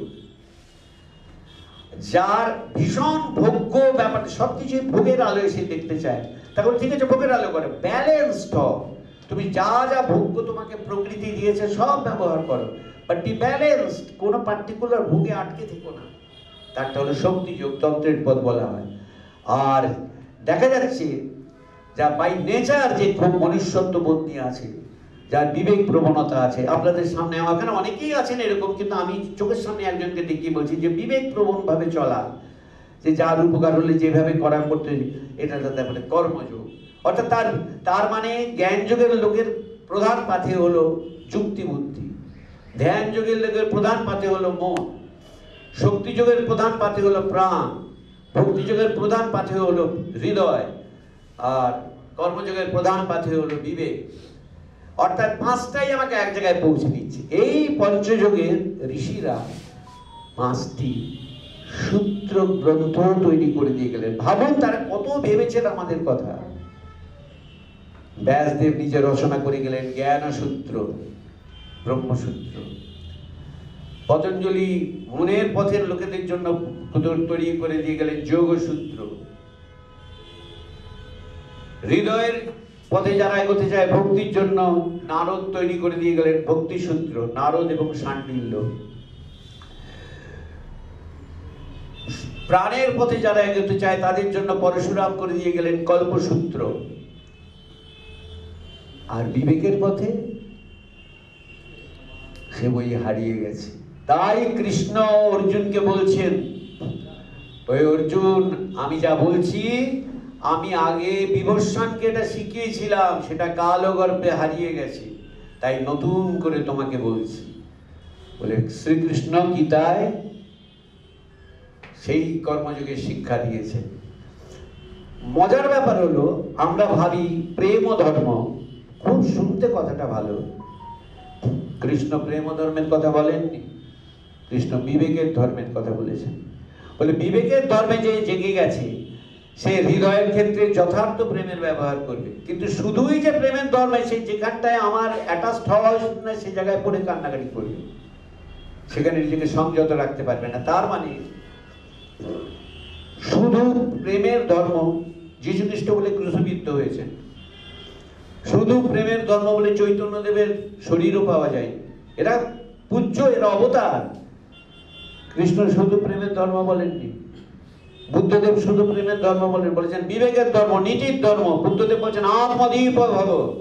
তোমার চালিকা শক্তি হবে, তোমার হৃদয় না। তোমার বিবেক।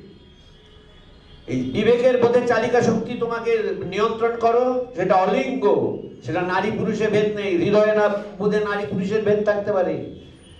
বিবেক বোধে তুমি চলে করো যে জায়গাটা তোমার মনে হবে ঠিক। যদি তাতে ভুলও হয়, তুমি জানবে তুমি কিন্তু ঠিক ভেবেই করেছ। সেখানে যেন বিদ্বেষ না আসে। দিস ইজ দ্য পয়েন্ট বিদ্বেষহীন জীবনে চলাই হলো বিবেকের ধর্ম। এবার আমি আমি যদি অলস হই, বিবেক কি বলছে? অলস হওয়া উচিত না, কতগুলো লোকের ক্ষতি করছি, তাহলে বিবেক আমাকে অ্যালার্ট করছে। আমার কারোর কাছে গিয়ে দীক্ষা নিতে হচ্ছে না। আমার ভেতরে গুরু রয়েছে বিবেক, আমি যদি বিবেককে মান্যতা দিই, দেখুন, যে কোনো কারণে হোক, আমাকে অনেক রকম মানুষের সঙ্গে অডিয়েন্সে গিয়ে কিংবা কথা বলায় মিশতে হয়েছে। তাতে আমি দেখেছি, অতি উচ্চ পদে আছেন আইএএস। একান্তে বলছেন একটা একটা নতুন কথা শিখলাম। আমাকেই বাহবা দিচ্ছে, না বলে আপনি আমার কাছে নতুন কথাটা কি কথাটা পরে বলছি? এই কথাটা আপনি জানতেন, চাপা ছিল। কারণ বড় হওয়ার জন্য, ভালো করে পড়াশোনা করার জন্য আমার লাগছে খালি বুদ্ধি, মন আর উদ্যম, আর কিছু লাগছে না। আমার কারোর সঙ্গে ভালোবাস, বন্ধুত্বের সম্পর্ক করার জন্য লাগছে শুধু হৃদয়, আর কোন জায়গায় কখন দেখা হবে সেটার একটা ব্যবস্থা করা। আমার বাবা মার সঙ্গে লাগছে কি বাবা মার থেকে উপকার পেয়েছি, বাবা বড় করেছেন, এবার দায়িত্ববোধে যেটুকু দেখতে হয়, তাও অনেকে দেখে না। বিবেকের ব্যবহার নেই কিন্তু। যদি বলেন কেন বিবেক নিয়ে চলছে? না, আইনের ভয়ে চলছি। রাস্তায় যেখানে সেখানে নোংরামি করলে ধরবে বলে আমি সেখানে করব না। রামকৃষ্ণদেব বলতেন, দে, পুকুরে পুকুরে গিয়ে সবাই পায়খানা পেচ্ছাপ করতো রামকৃষ্ণ বললেন, ওখানে টানিয়ে দে, হালদার পুকুরে, যে এইখানে করিয়ে জরিমানা হইবে, দেখবি আর কেউ করবে না। তার মানে ওটা বিবেকে না, ভয়ে। তাহলে বিবেকের ধর্ম। এই বিবেকের ধর্ম শিখিয়েছেন আমাদের উপনিষদ। বিবেকের ধর্ম শিখিয়েছেন আমাদের ঋষিরা। বিবেকের ধর্ম শিখিয়েছেন শ্রীকৃষ্ণ। কীরকম বলছেন কঠোপনিষদে? বলছেন আত্মানং রথিনং বৃদ্ধি। অনেকে ভুল করে বলেন, আত্মানং বৃদ্ধি। আত্মানং বৃদ্ধি বলে কোনো শব্দ কিন্তু উপনিষদে নেই। আমি কাউকে ভুল বলা, আমার কাউকে দোষ দেখানো না। দুটো জিনিস নেই গোলমালটা সত্যম শিবম সুন্দরম। বলে উপনিষদে আছে। আমি একশো আটটা উপনিষদকে নেড়ে, ঝেড়ে লাইন বাই লাইন থেকে কোথাও পাই আছে। সত্যম জ্ঞানম অনন্তম ব্রহ্ম, শান্তম শিবম অদ্বৈতম। সত্যম শিবম সুন্দরম কোথাও নেই, ওটা দেবেন ঠাকুর করেছিলেন। ওই সুন্দরমটা ঢুকিয়েছিলেন ওনার সুন্দর জিনিস পছন্দ হতে বলে। না, ভালো, খুব ভালো, এটা সুরুচির পরিচয়। কিন্তু ওটা শাস্ত্রের কথা না। বলছে, সুন্দর কি? তোমার মনুষ্যত্ব বোধে জাগরণ হলো সুন্দর। বাইরে থেকে যে সুন্দর সে দুদিন বাদেই শেষ হয়ে যাবে। তাই শান্তম শিবম অদ্বৈতম তুমি শান্ত, শিবম মানে মহাদেব না। শিবম মানে দ্বন্দ্বাতীত। সবার মধ্যে এক আমি আছি, সুতরাং আমি কার প্রতি বিদ্বেষ করব? কার সঙ্গে আমি ঝগড়ায় যাব? যেখানে আমার প্রতিবাদ করতে হবে, সেখানে করছি অন্যায়ের বিরুদ্ধে প্রতিবাদ বলে। ওই লোকটাকে জব্দ করব বলে না। যেখানে তাকে দণ্ড দিচ্ছি, আমি হাইকোর্টের জজ তাকে ফাঁসির দণ্ড দিচ্ছি, সেটা ওই লোকটাকে গলায় ঝুলিয়ে মজা রাখবার জন্য না। ওকে এক্সাম্পলারি পানিশমেন্ট না দিলে এরা বন্ধ। আমি এখানে ফাঁসি ভালো কি খারাপের মধ্যে ঢুকবো না। আমি কথাটা বলছি কেন? যে সেখানে এক্সাম্পলারি পানিশমেন্ট যে এই দোষটা যেন অন্যরা প্রতি একটু সাবধান হয়। অর্থাৎ সমস্ত ক্রিয়াটার পেছনেই থাকবে বিবেক বোধ নট মাই ওন অ্যাটিচিউড আমার ওন অ্যাটিচিউডটা যখন কনসেন্ট মানে বিবেক ধরা হয়ে যাবে, তখন তো সেটা হয়ে গেল। আমি তো উন্নীত হয়ে গেলাম। যতক্ষণ না সেটা হচ্ছে, ওই যে আইএস এর কথা বলছিলাম, তিনি খুব বড় পদে আছেন, এখনও আছেন। তো বলছেন, দেখুন, আমাদের যে তৈরি হওয়া, আমি আজকে পঞ্চান্ন বছর বয়সে অজয়দা আপনার কাছে আমাকে দাদা বলে বলে, এই এইটা নতুন কথা সেলাম করে বাড়িতেও শিখিনি পড়িও নি আমি কেন? মহাপুরুষদের জীবনে বলে ও তো র্যাপিড রিডিংয়ে ছিল। র্যাপিড রিডিং হয়ে গেছে ক্লাস সেভেনে শেষ। আর কোথায়? বাকিটুকু বাকি জীবনে কোড অফ কন্ডাক্ট যখন আইএম আইআইএম এ পড়েছি, তখন সেখানকার কোড অফ কন্ডাক্ট ওটাই আমার বিবেক।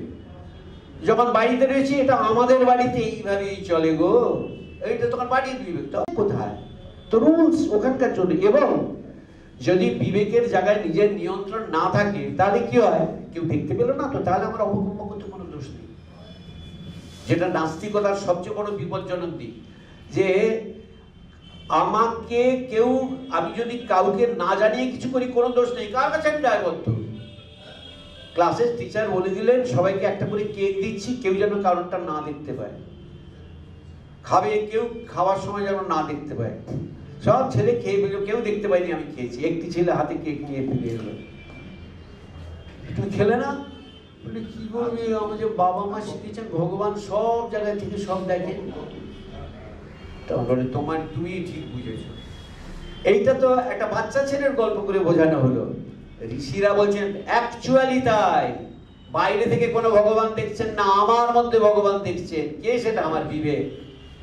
থ্রু বিবেক লেন্স ভগবান আমাকে, আমার জায়গায় আমার রেকর্ডেড হচ্ছে সব। তাই জন্য উপনিষদে বলছে, দুটি পাখি আছে। একরকম দেখতে দুটি পাখি প্রত্যেকের মধ্যে। একটা পাখি শুধু দেখে যায়, আরেকটা পাখি ভোগ করে যায়। এই ভোগ করা পাখিটাই বারবার দেহ নিচ্ছে, আর দেখে যাওয়া পাখিটা একরকম ভাবে আছে। আমাকে অ্যাওয়্যার হতে হবে, ওই দেখে যাওয়ার পাখিটাই আমার আসল আমি। ভোগ করার পাখিটা পুড়িয়ে যাবে। দাঁত পুড়ে গেলেই মাংস ঠাকুর বলছেন, এক জায়গায় কালী পুজো খুব বড় করে হতো। সাত আটটা পাঁঠা বলি দেওয়া হতো। খুব মাংস ভোজ হতো। বলে হঠাৎ দেখা গেলো সে সত্যনারায়ণ পুজো করছে, জন্মাষ্টমী করছে, খুব পায়েস টায়েস হচ্ছে। বলে সব বন্ধ বলে দাঁত পড়ে গেছে। আর মাংস খেতে পারছে না। মানে আসল জায়গাটা হলো আমার ভালো লাগাটা। এই আমার ভালো লাগাটার জায়গাটা হলো ঋষি যাজ্ঞবল্ক। তিনি সে যুগের উপায় ছিল, তার দুটি বিবাহ ছিল। একজনের নাম মৈত্রেয়ী আর কাত্যায়নী নামে আরেকজন, উনি বিয়ে করব বলে করেননি কিন্তু। সে বলেছে, এই মানুষ পেয়ে আমি আর আর কাকে স্বামী করে নেব? সুতরাং তিনিও ওখানে গৃহিণী হয়ে তার কাছে স্ত্রী হিসেবে ছিলেন। মানে উনি আমার দুটো বউ চাই বলে বিয়ে করেছেন তা না কিন্তু। এইবারে যখন এখানে এর তো আমাদের সভাটার নাম তো প্রবীণদের সভা। তিনি যখন প্রবীণ হয়েছেন, তিনি গিয়ে স্ত্রীকে বলেছেন, আমি প্রব্রজ্জায় যাব, পরিব্রাজনে যাব। তা আমার যে এই রাজাদের দাও, উপহার ইত্যাদি আমি কি করব? তোমাদের দুজনকে ভাগ করে দিচ্ছি। মৈত্রেয়ীকে আর কাত্যায়নীকে সমানভাবে ভাগ করে দিলেন। মৈত্রেয়ী তার হাজব্যান্ডকে কিন্তু অবজার্ভ করতো যে ছাত্ররা আসে, শিষ্যরা আসে, শিখতে আসে, আলোচনা হয়। সে স্বামীকে বলল তুমি না আমাদের দুজনকে সম্পত্তি ভাগ করে দিয়ে গেলে খুব ভালো। ফুরবে না তো কখনো? এগুলো ফুরবে না তো? অবভিয়াসলি ফুরবে তো বটেই। একদিন তো ফুরবে সবই, তুমিও ফুরিয়ে যাবে, শরীরও ফুরিয়ে যাবে বলে। না ইয়ে না হং না মৃতাসাম কিমাং তেন কুরিয়া। সেও এক নারী। তুমি আমাকে এই দিয়ে ভুলিও না। যে না হং না মৃতাসাম কিমাং তেন কুরিয়া। যা ফুরিয়ে যাবে তা দিয়ে তুমি আমাকে ভোলাবে? তোমার কাছে যারা অকাতরে শিখে এক একজন ঋষিতে পরিণত হচ্ছে, সে ভাগ আমায় দেবে না? ওটাই তো তোমার আসল সম্পত্তি। তখন যাজ্ঞবল করলেন, তুমি আমার যথার্থ সহধর্মিনী হলে। এতদিন ছিলে গৃহিণী, এখন হলে সহধর্মিনী ওইটাই তো সধর্ম কি সেই সধর্ম যে সেই আনন্দের সন্ধান করব, সেই সত্যের সন্ধান করব, যা ফুরবে না। How to get it unfoldment নিজের মধ্যে নিজে খোঁজো। নিজের মধ্যে পরিবর্তনশীলতার আড়ালে যে অপরিবর্তনীয় জায়গাটা আছে সেটা খোঁজো। যা পুড়িয়ে গেল সেটার জন্য কেঁদে ভাসিও না। যতক্ষণ থাকার ছিল, যতক্ষণ রাখার যত্ন করে রাখো, এটা যতক্ষণ জল থাকবে বোতলটা সুন্দর করে রাখতে হবে। যেই ফুরিয়ে যাবে, এর গায়ে লেখা আছে, এটাকে স্কুইজ করে ফেলে দিন। সেটাকে আমার পরিত্যাগ করতে হবে। যত প্রিয়জনই হোক, মৃতদেহটাকে হয় কবর, নয় পুড়িয়ে ফেলা, একটা কিছু করতেই হবে। তার কারণ সেটার সার্থকতা যতক্ষণ সেটা জীবনদায়ী ছিল সুতরাং ওই মোহটিকে রাখতে হবে না। মৈত্রেই এই প্রতি জাগ্রত হোক আরেকটা জিনিস জেনে রেখে দাও। আমরা যে যা করছি মৈত্রেয়ী, যখন আমি যে তোমাকে ভালোবাসি, আমি যে আমার শিষ্যদের ভালোবাসি, আসলে আমি আমাকেই ভালোবাসি। কেন? না, এক আমি সবার মধ্যে আছি। সুতরাং আমি যখন কারোর দেখছি, আমার প্রতি জিজ্ঞাসু হয়ে এসছে, তখন আমি ওখানে আর্ত হয়ে জিজ্ঞাসু হয়ে এসছি। তাই আমি আমাকে তাই জিজ্ঞাসার উত্তর দিয়ে তাকে শান্ত করছি। যখন আমার কাছে কেউ ভিক্ষাপাত্র নিয়ে আসছে, ক্ষুধার্ত বলে, আমি ওখানে ক্ষুধার্ত হয়ে তাই সেখানে হাত বাড়িয়েছি, তাই আমি আমাকে ক্ষুধা মেটাবার জন্য ওখানে করি। এই বোধ থেকে কাজ করা শেখো। এই বোধ থেকে জীবন ধারণ করা শেখো। এই বোধ থেকে চলা শেখো আমার কি যথেষ্ট বলা হয়ে যায়নি। হ্যাঁ সাড়ে সাতটা বাজে। আপনাদের আর আর ভুল করা ঠিক হবে না। অনেকক্ষণ পর করলাম। না, আর আর আলোচনাটাকে টানলে তো আমি সারাদিন সারা রাত টানতে পারব, সেটা কথা না। কিন্তু আপনাদের প্রত্যেকের তো কাজের ব্যাপার আছে, আমি সেই জন্য বলছি যে এই কি আলোচনার মধ্যে আর ঢুকবো না, দুটো একটা কাহিনী বলে এবারে ছেড়ে দেবো। এই কথাটা বলিনি, যেটা বলতে গিয়ে আর্ধেক করে থেমে গেলাম। আমানং রথিনম বৃদ্ধি কঠোপনিষদে নচিকেতাকে যখন বলছেন, আমি মূল ঘটনায় ঢুকতে যাব না, তাহলে আবার আরও দশ মিনিট লেগে যাবে। যে এই শরীরটা একটা রথ, আর সেই রথের রথি হলেন আমার আত্মবোধ। প্রত্যেকের ক্ষেত্রেই সেটা সত্য। শরীরটা রথ রথি হলো আত্মবোধ, আত্মচৈতন্য। শরীরটা জানবে রথ আর বিবেক আর বুদ্ধি হলো সারথি। আর হৃদয়ের মন হলো লাগাম। আর ঘোড়াটা হলো প্রাণ। এইবারে নিজের জীবনটাকে ওইভাবে বানাই এই শরীরটাকে আমি চালাবো, ঘোড়াগুলো নিয়ে চলবে, অর্থাৎ প্রাণকে আমি সেই মুখী করব। উদ্যমটা সেই কাজেই দেবো যেটা আমাকে এগিয়ে নিয়ে যাবে। তাতে আমার ভোগ ত্যাগ করতে হচ্ছে না। কিন্তু সংযম করতে হচ্ছে। ভোগ সর্বস্ব হলেও চলবে না। যেটাই করব, মন চাইলে আগে বিবেক দিয়ে বিচার করে না এটা কি কাজটা ঠিক? হয়ে গেল। যদি বলে ঠিক করব, বুদ্ধিকে আমরা করে রেখে দিয়েছি মনের দাস। দেখুন, বুদ্ধির কোনো নিজের জায়গা নেই আমাদের কাছে। আমরা যেটা মনে চাইছি, সেটা করার জন্য বুদ্ধিকে অ্যাপ্লাই করি।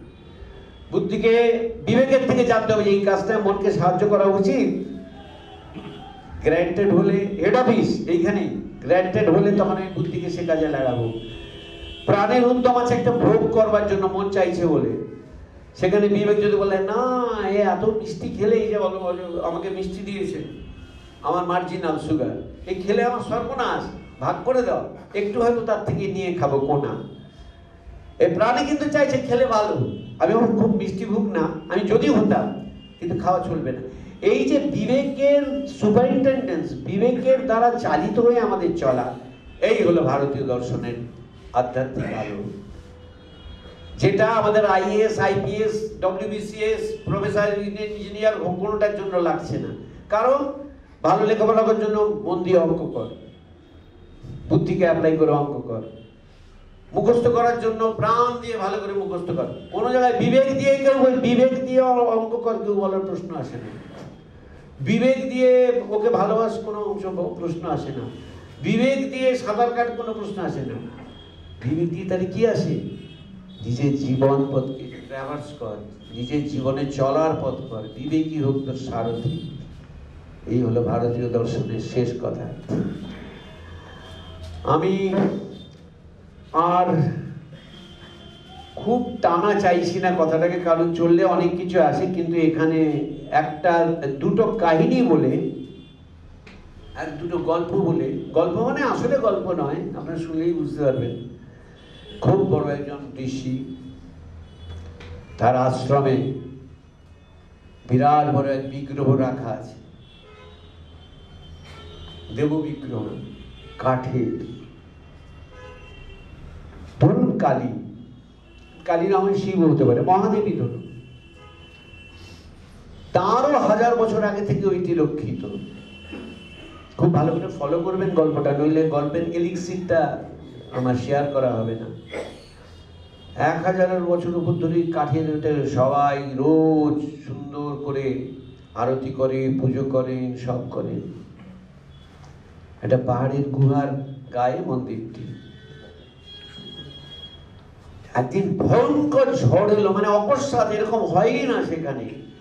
একেবারে ঝড়ে সব কুটির টুটির গরিবদের ঘর বেরিয়ে চলে গেল আর শীতের সময়। ভয়ঙ্কর অবস্থা মানে আর বাঁচবে কিনা কেউ ওই ঝড় চললে সবাই ওই আশ্রমে এসে জড়ো হয়েছে।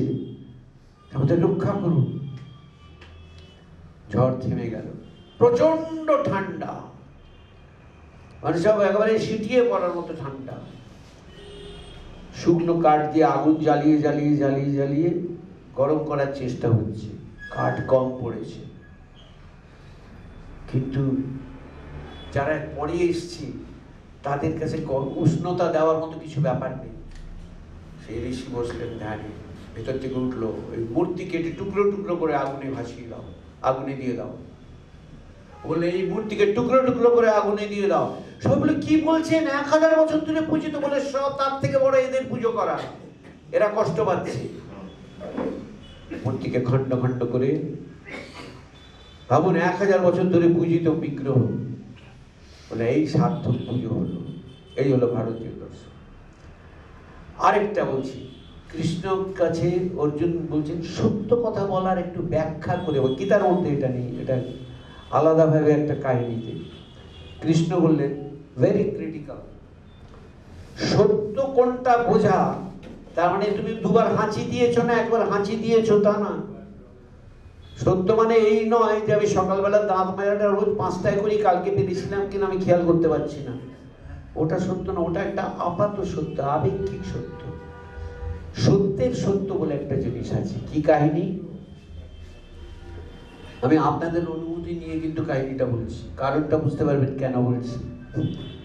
একদিন জঙ্গলের ধারে একজন ঋষি, একজন তাপস থাকেন, সাধক থাকেন। তিনি কথা বলেন না, মন- মৌনতা অবলম্বন করেন। কিন্তু মাঝে মাঝে কথা বলতেন, এখন মৌনতা অবলম্বন করছেন। তার খ্যাতিটা ছিল যে তিনি সত্যময়ী মিথ্যা বলতেন না, কখনো মিথ্যা বলতেন না। যার জন্য চোর, ডাকাত, খুনি এরা পর্যন্ত তাকে রেসপেক্ট করত। যে এক অসামান্য সত্যবাদী। তিনি এরকম তপস্যার আসনে বসে আছেন, চোখ খোলা মানে ওই আসনস্থ আছেন। এমন সময় একটি অর্ধ মানে অর্ধনগ্না যুবতী এসে কোনো ক্রমে ছুটতে ছুটতে ঠাকুর আমায় রক্ষা করুন। আমার পিছনে আমার স্বামীকে মেরে দিয়েছে আর তো এটা আমাকেও অত্যাচার করবার জন্য পিছনে আক্রমণ করে, আশ্রয় দিন।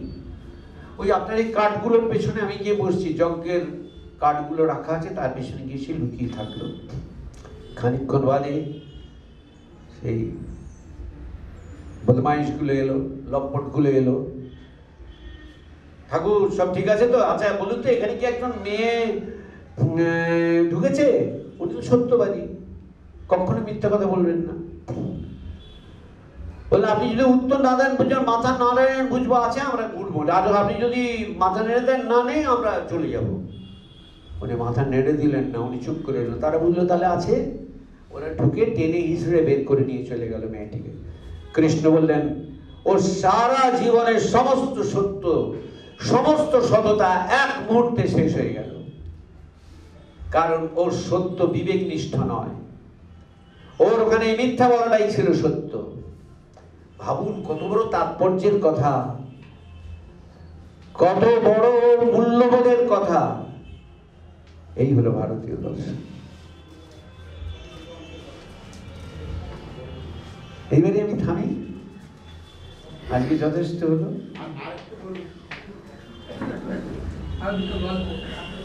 আজকে তারিখ পাল্টাতে আর সাড়ে চার ঘণ্টা বাকি আছে।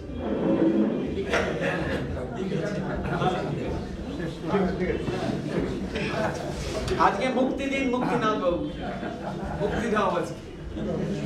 এরপরে দু একটা প্রশ্ন করা চলবে, আপনারা উঠবেন না। তার আগে আমি একটা কাজ করে দিতে চাই। আমাদের আইএমএ দমদম শাখার সম্পাদক শ্রী ডাক্তার সুভাষ চক্রবর্তী এখানে আছে তাকে একটু পুষ্পস্তবক দেবেন, ডক্টর পঙ্কজ গুপ্ত। গোবিন্দ, ফুলের স্তবক নিয়ে এসো। এরপরে দু একটা প্রশ্ন করা চলবে।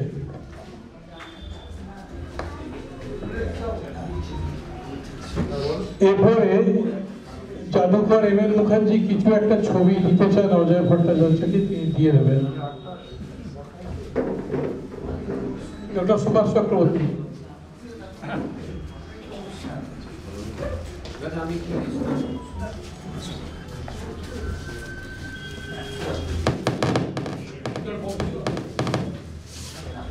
ওদিকে করে।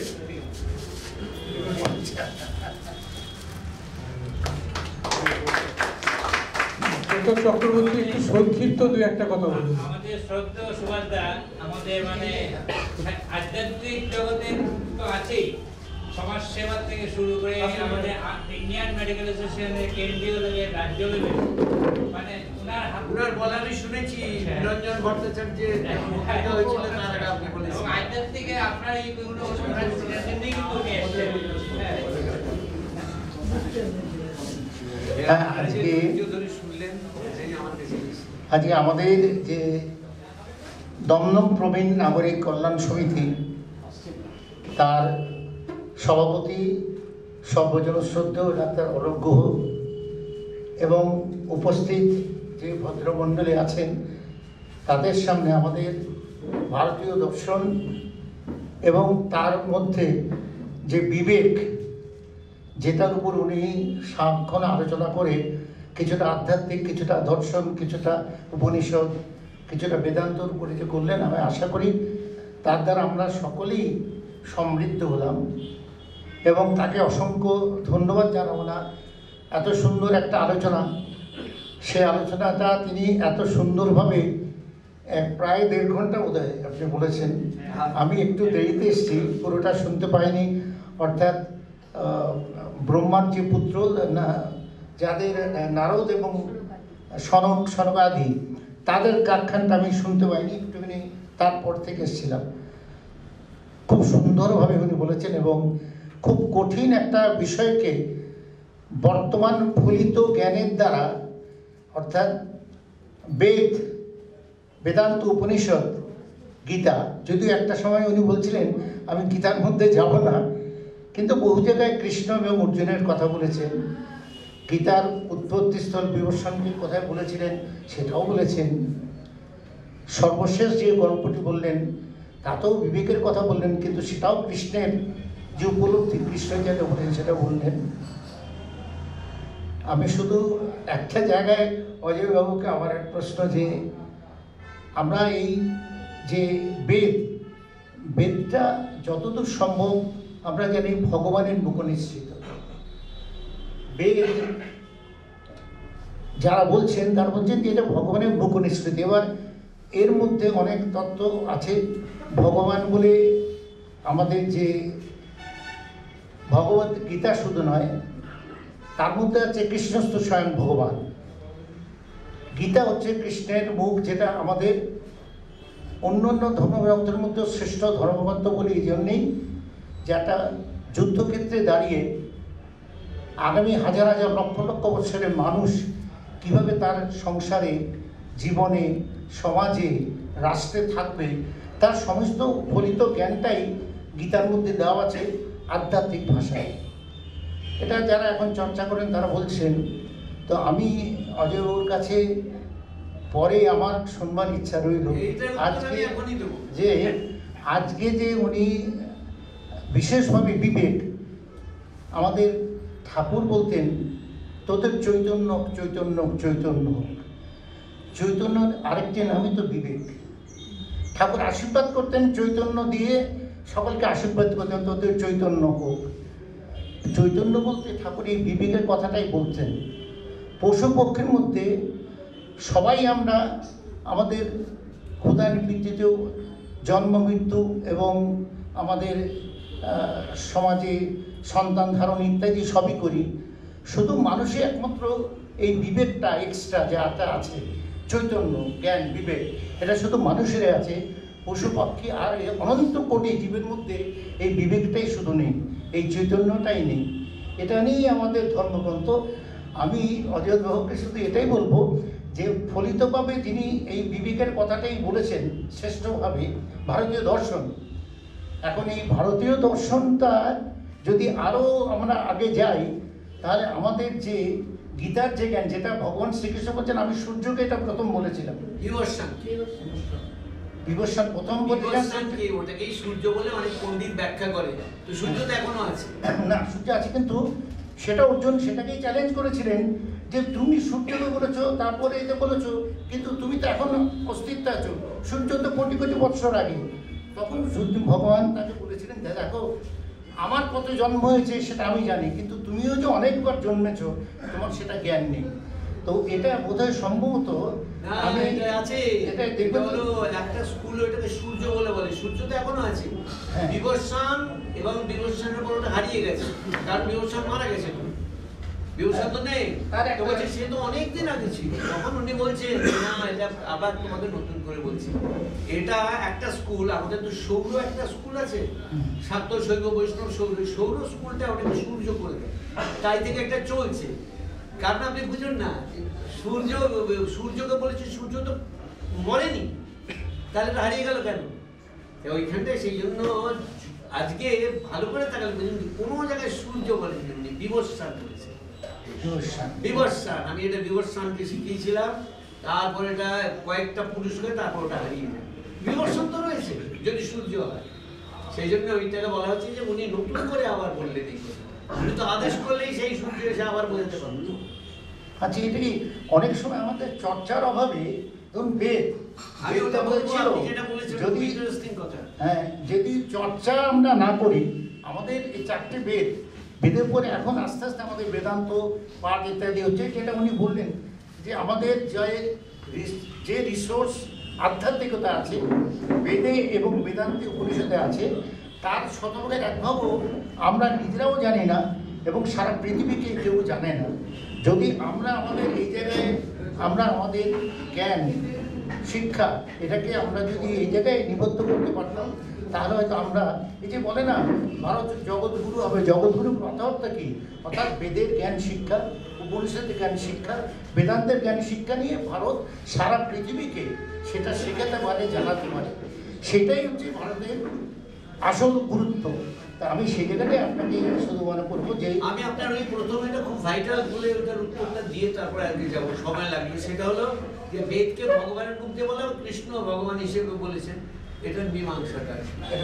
আমি একটু মাইক ছাড়া তো সবার কাছে পৌঁছবে না। আমি ওখানে দাঁড়িয়েই বলছি। সংক্ষেপে কারণ আজকে তো সবার অনেক খুব সংক্ষেপে।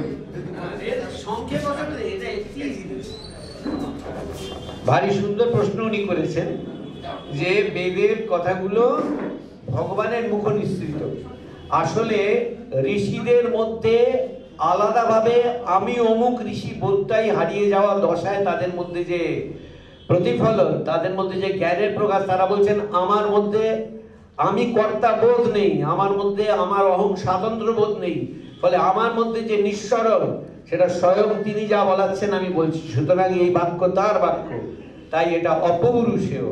এই অপৌরুষেয় বাক্য তাই সোজাসুজি ভগবত বাক্য হিসেবে অ্যাকসেপ্টেড মানে ধরা হয় ট্র্যাডিশনে আর শ্রীকৃষ্ণ রূপে যেটা, সেটা হলো শ্রীকৃষ্ণ নিজে বলছেন যদা যদা হি ধর্মস্য গ্লানির্ভবতি ভারত অভ্যুত্থানম ধর্মস্য তদাত্মানং সৃজাম্যহম পরিত্রাণায় সাধূনাং বিনাশায় চ দুষ্কৃতাম ধর্ম সংস্থাপনার্থায় সম্ভবামি যুগে যুগে সেই কথা যে বলেছেন, তার মুখের বাক্য হিসেবে ওটা ভগবত বাক্য। অর্থাৎ দুটোর ক্লারিফিকেশন দুই রকম। একটা হলো, আমার খণ্ড আমিত্ব চলে গিয়েছে, আমার মধ্যে তার আমি জেগে উঠেছে। অর্থাৎ ঢেউটার মধ্যে আমি সমুদ্রের জল এই বোধ থেকে যে কথা, সেটাও ভগবত বাক্য। আর একটা পার্টিকুলার ঢেউ বিরাট ভাবে এসে বলছে, আমি তারই প্রকাশ হিসেবে তোমাদের শেখাচ্ছি সেটাও তাই ভগবত বাক্য। তাই ওখানে মীমাংসাটা হলো তাই। একটা অপৌরুষ আর একটা পৌরুষ কি পৌরুষ না পুরুষোত্তমের মুক্তি অর্থাৎ বেদের বাণীটা হলো অপৌরুষীয় বাণী। আর শ্রীকৃষ্ণটা হলো পৌরুষ বাণী পুরুষোত্তম স্বয়ং বলছে। এই হলো ওইটা নিয়ে আর আমি কথাটা আর বলতে এরকম অলরেডি উঠবো উঠবো করার একটা জায়গায় মিলছে বলো শুধু জ্ঞানযোগ, ভক্তিযোগ, কর্মযোগ, প্রেমের স্থানটা আপনি যেখানটা এখানে এসে বলেছেন সব ব্যস্ত এত অষ্টাদশ অধ্যায়ের সমস্ত কাহিনী বেদ বেদান্ত লিখে যখন যখন বেদব্যাস বলছেন, আমি এখন এখন আমি শান্তি পাইনি, আমার মন অশান্ত হয়ে আছে। তখন তার গুরুদেব নারদ এসে বললেন, যদি কৃষ্ণ প্রেম নিয়ে তুমি কিছু লেখনি, তাই ভাগবতে দশম অধ্যায়ে কৃষ্ণ প্রেম উপর সবচেয়ে বড় কথা তাহলে প্রেম কি, জ্ঞান, ভক্তি সব কিছুতে শ্রেষ্ঠ জায়গা? অর্থাৎ আমাদের ধ্যানযোগ কর্মযোগ ধ্যানযোগ সব কিছু করার পর প্রেমযোগ না করলে কি আমরা আধ্যাত্মিকতায় জায়গায় পৌঁছবো না? এই না আপনার আজকের আলোচনার বিষয় বলতে ওটা আসছে না আধ্যাত্মিক আলোকে ভারতীয় দর্শন। ভারতীয় দর্শনের আলোকে জীবন এটা নিশ্চয় যদি হয় সুযোগ সবাইকে নমস্কার।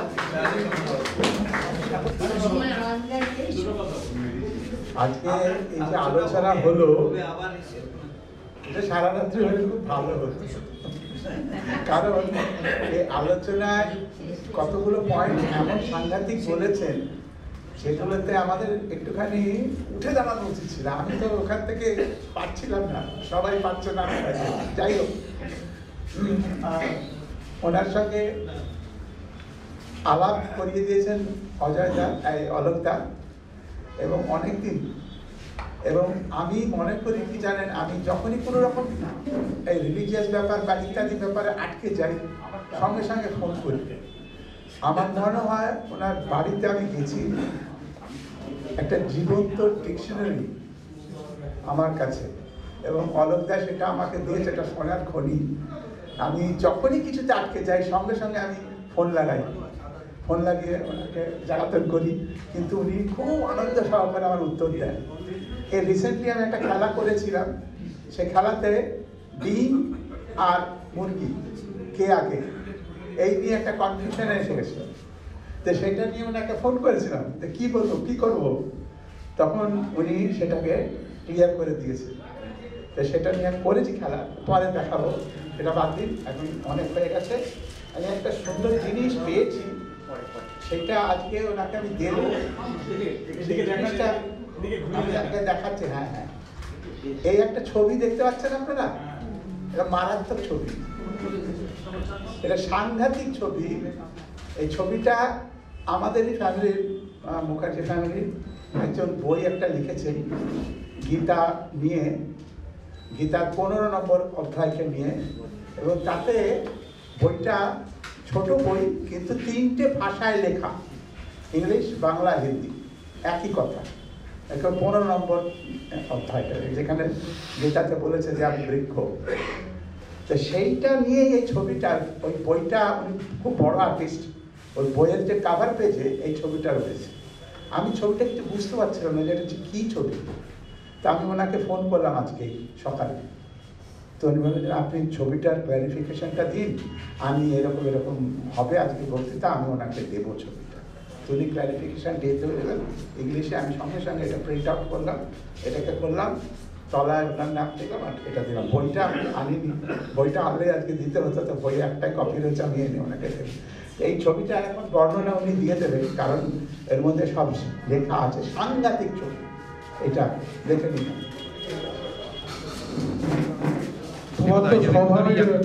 আছে ছবিটা আবার ভ্যানিশ করে দিও না মাঝখান থেকে এটায় লেখা আছে rhythmic manifestation of Sri Vidya art, a tantric form, strictly spiritual, as the coil of serpent kundalini and its rise after awakening, the basis of tantra. The methodology was in application through the process of passivity and surrender. Tantra was in practice by all other thoughts alike Vaishnava Tantra and so by karma, jnana, bhakti, reminiscence of human intellect. আমি আর ব্যাখ্যায় ঢুকছি না কিন্তু খুব সুন্দর তাৎপর্যবাহী কথাগুলো তাহলে এখন ধন্যবাদ জ্ঞাপন করছে শ্রী অসিত গুহ আমাদের প্রবীণ নাগরিকেরই একজন সন্তান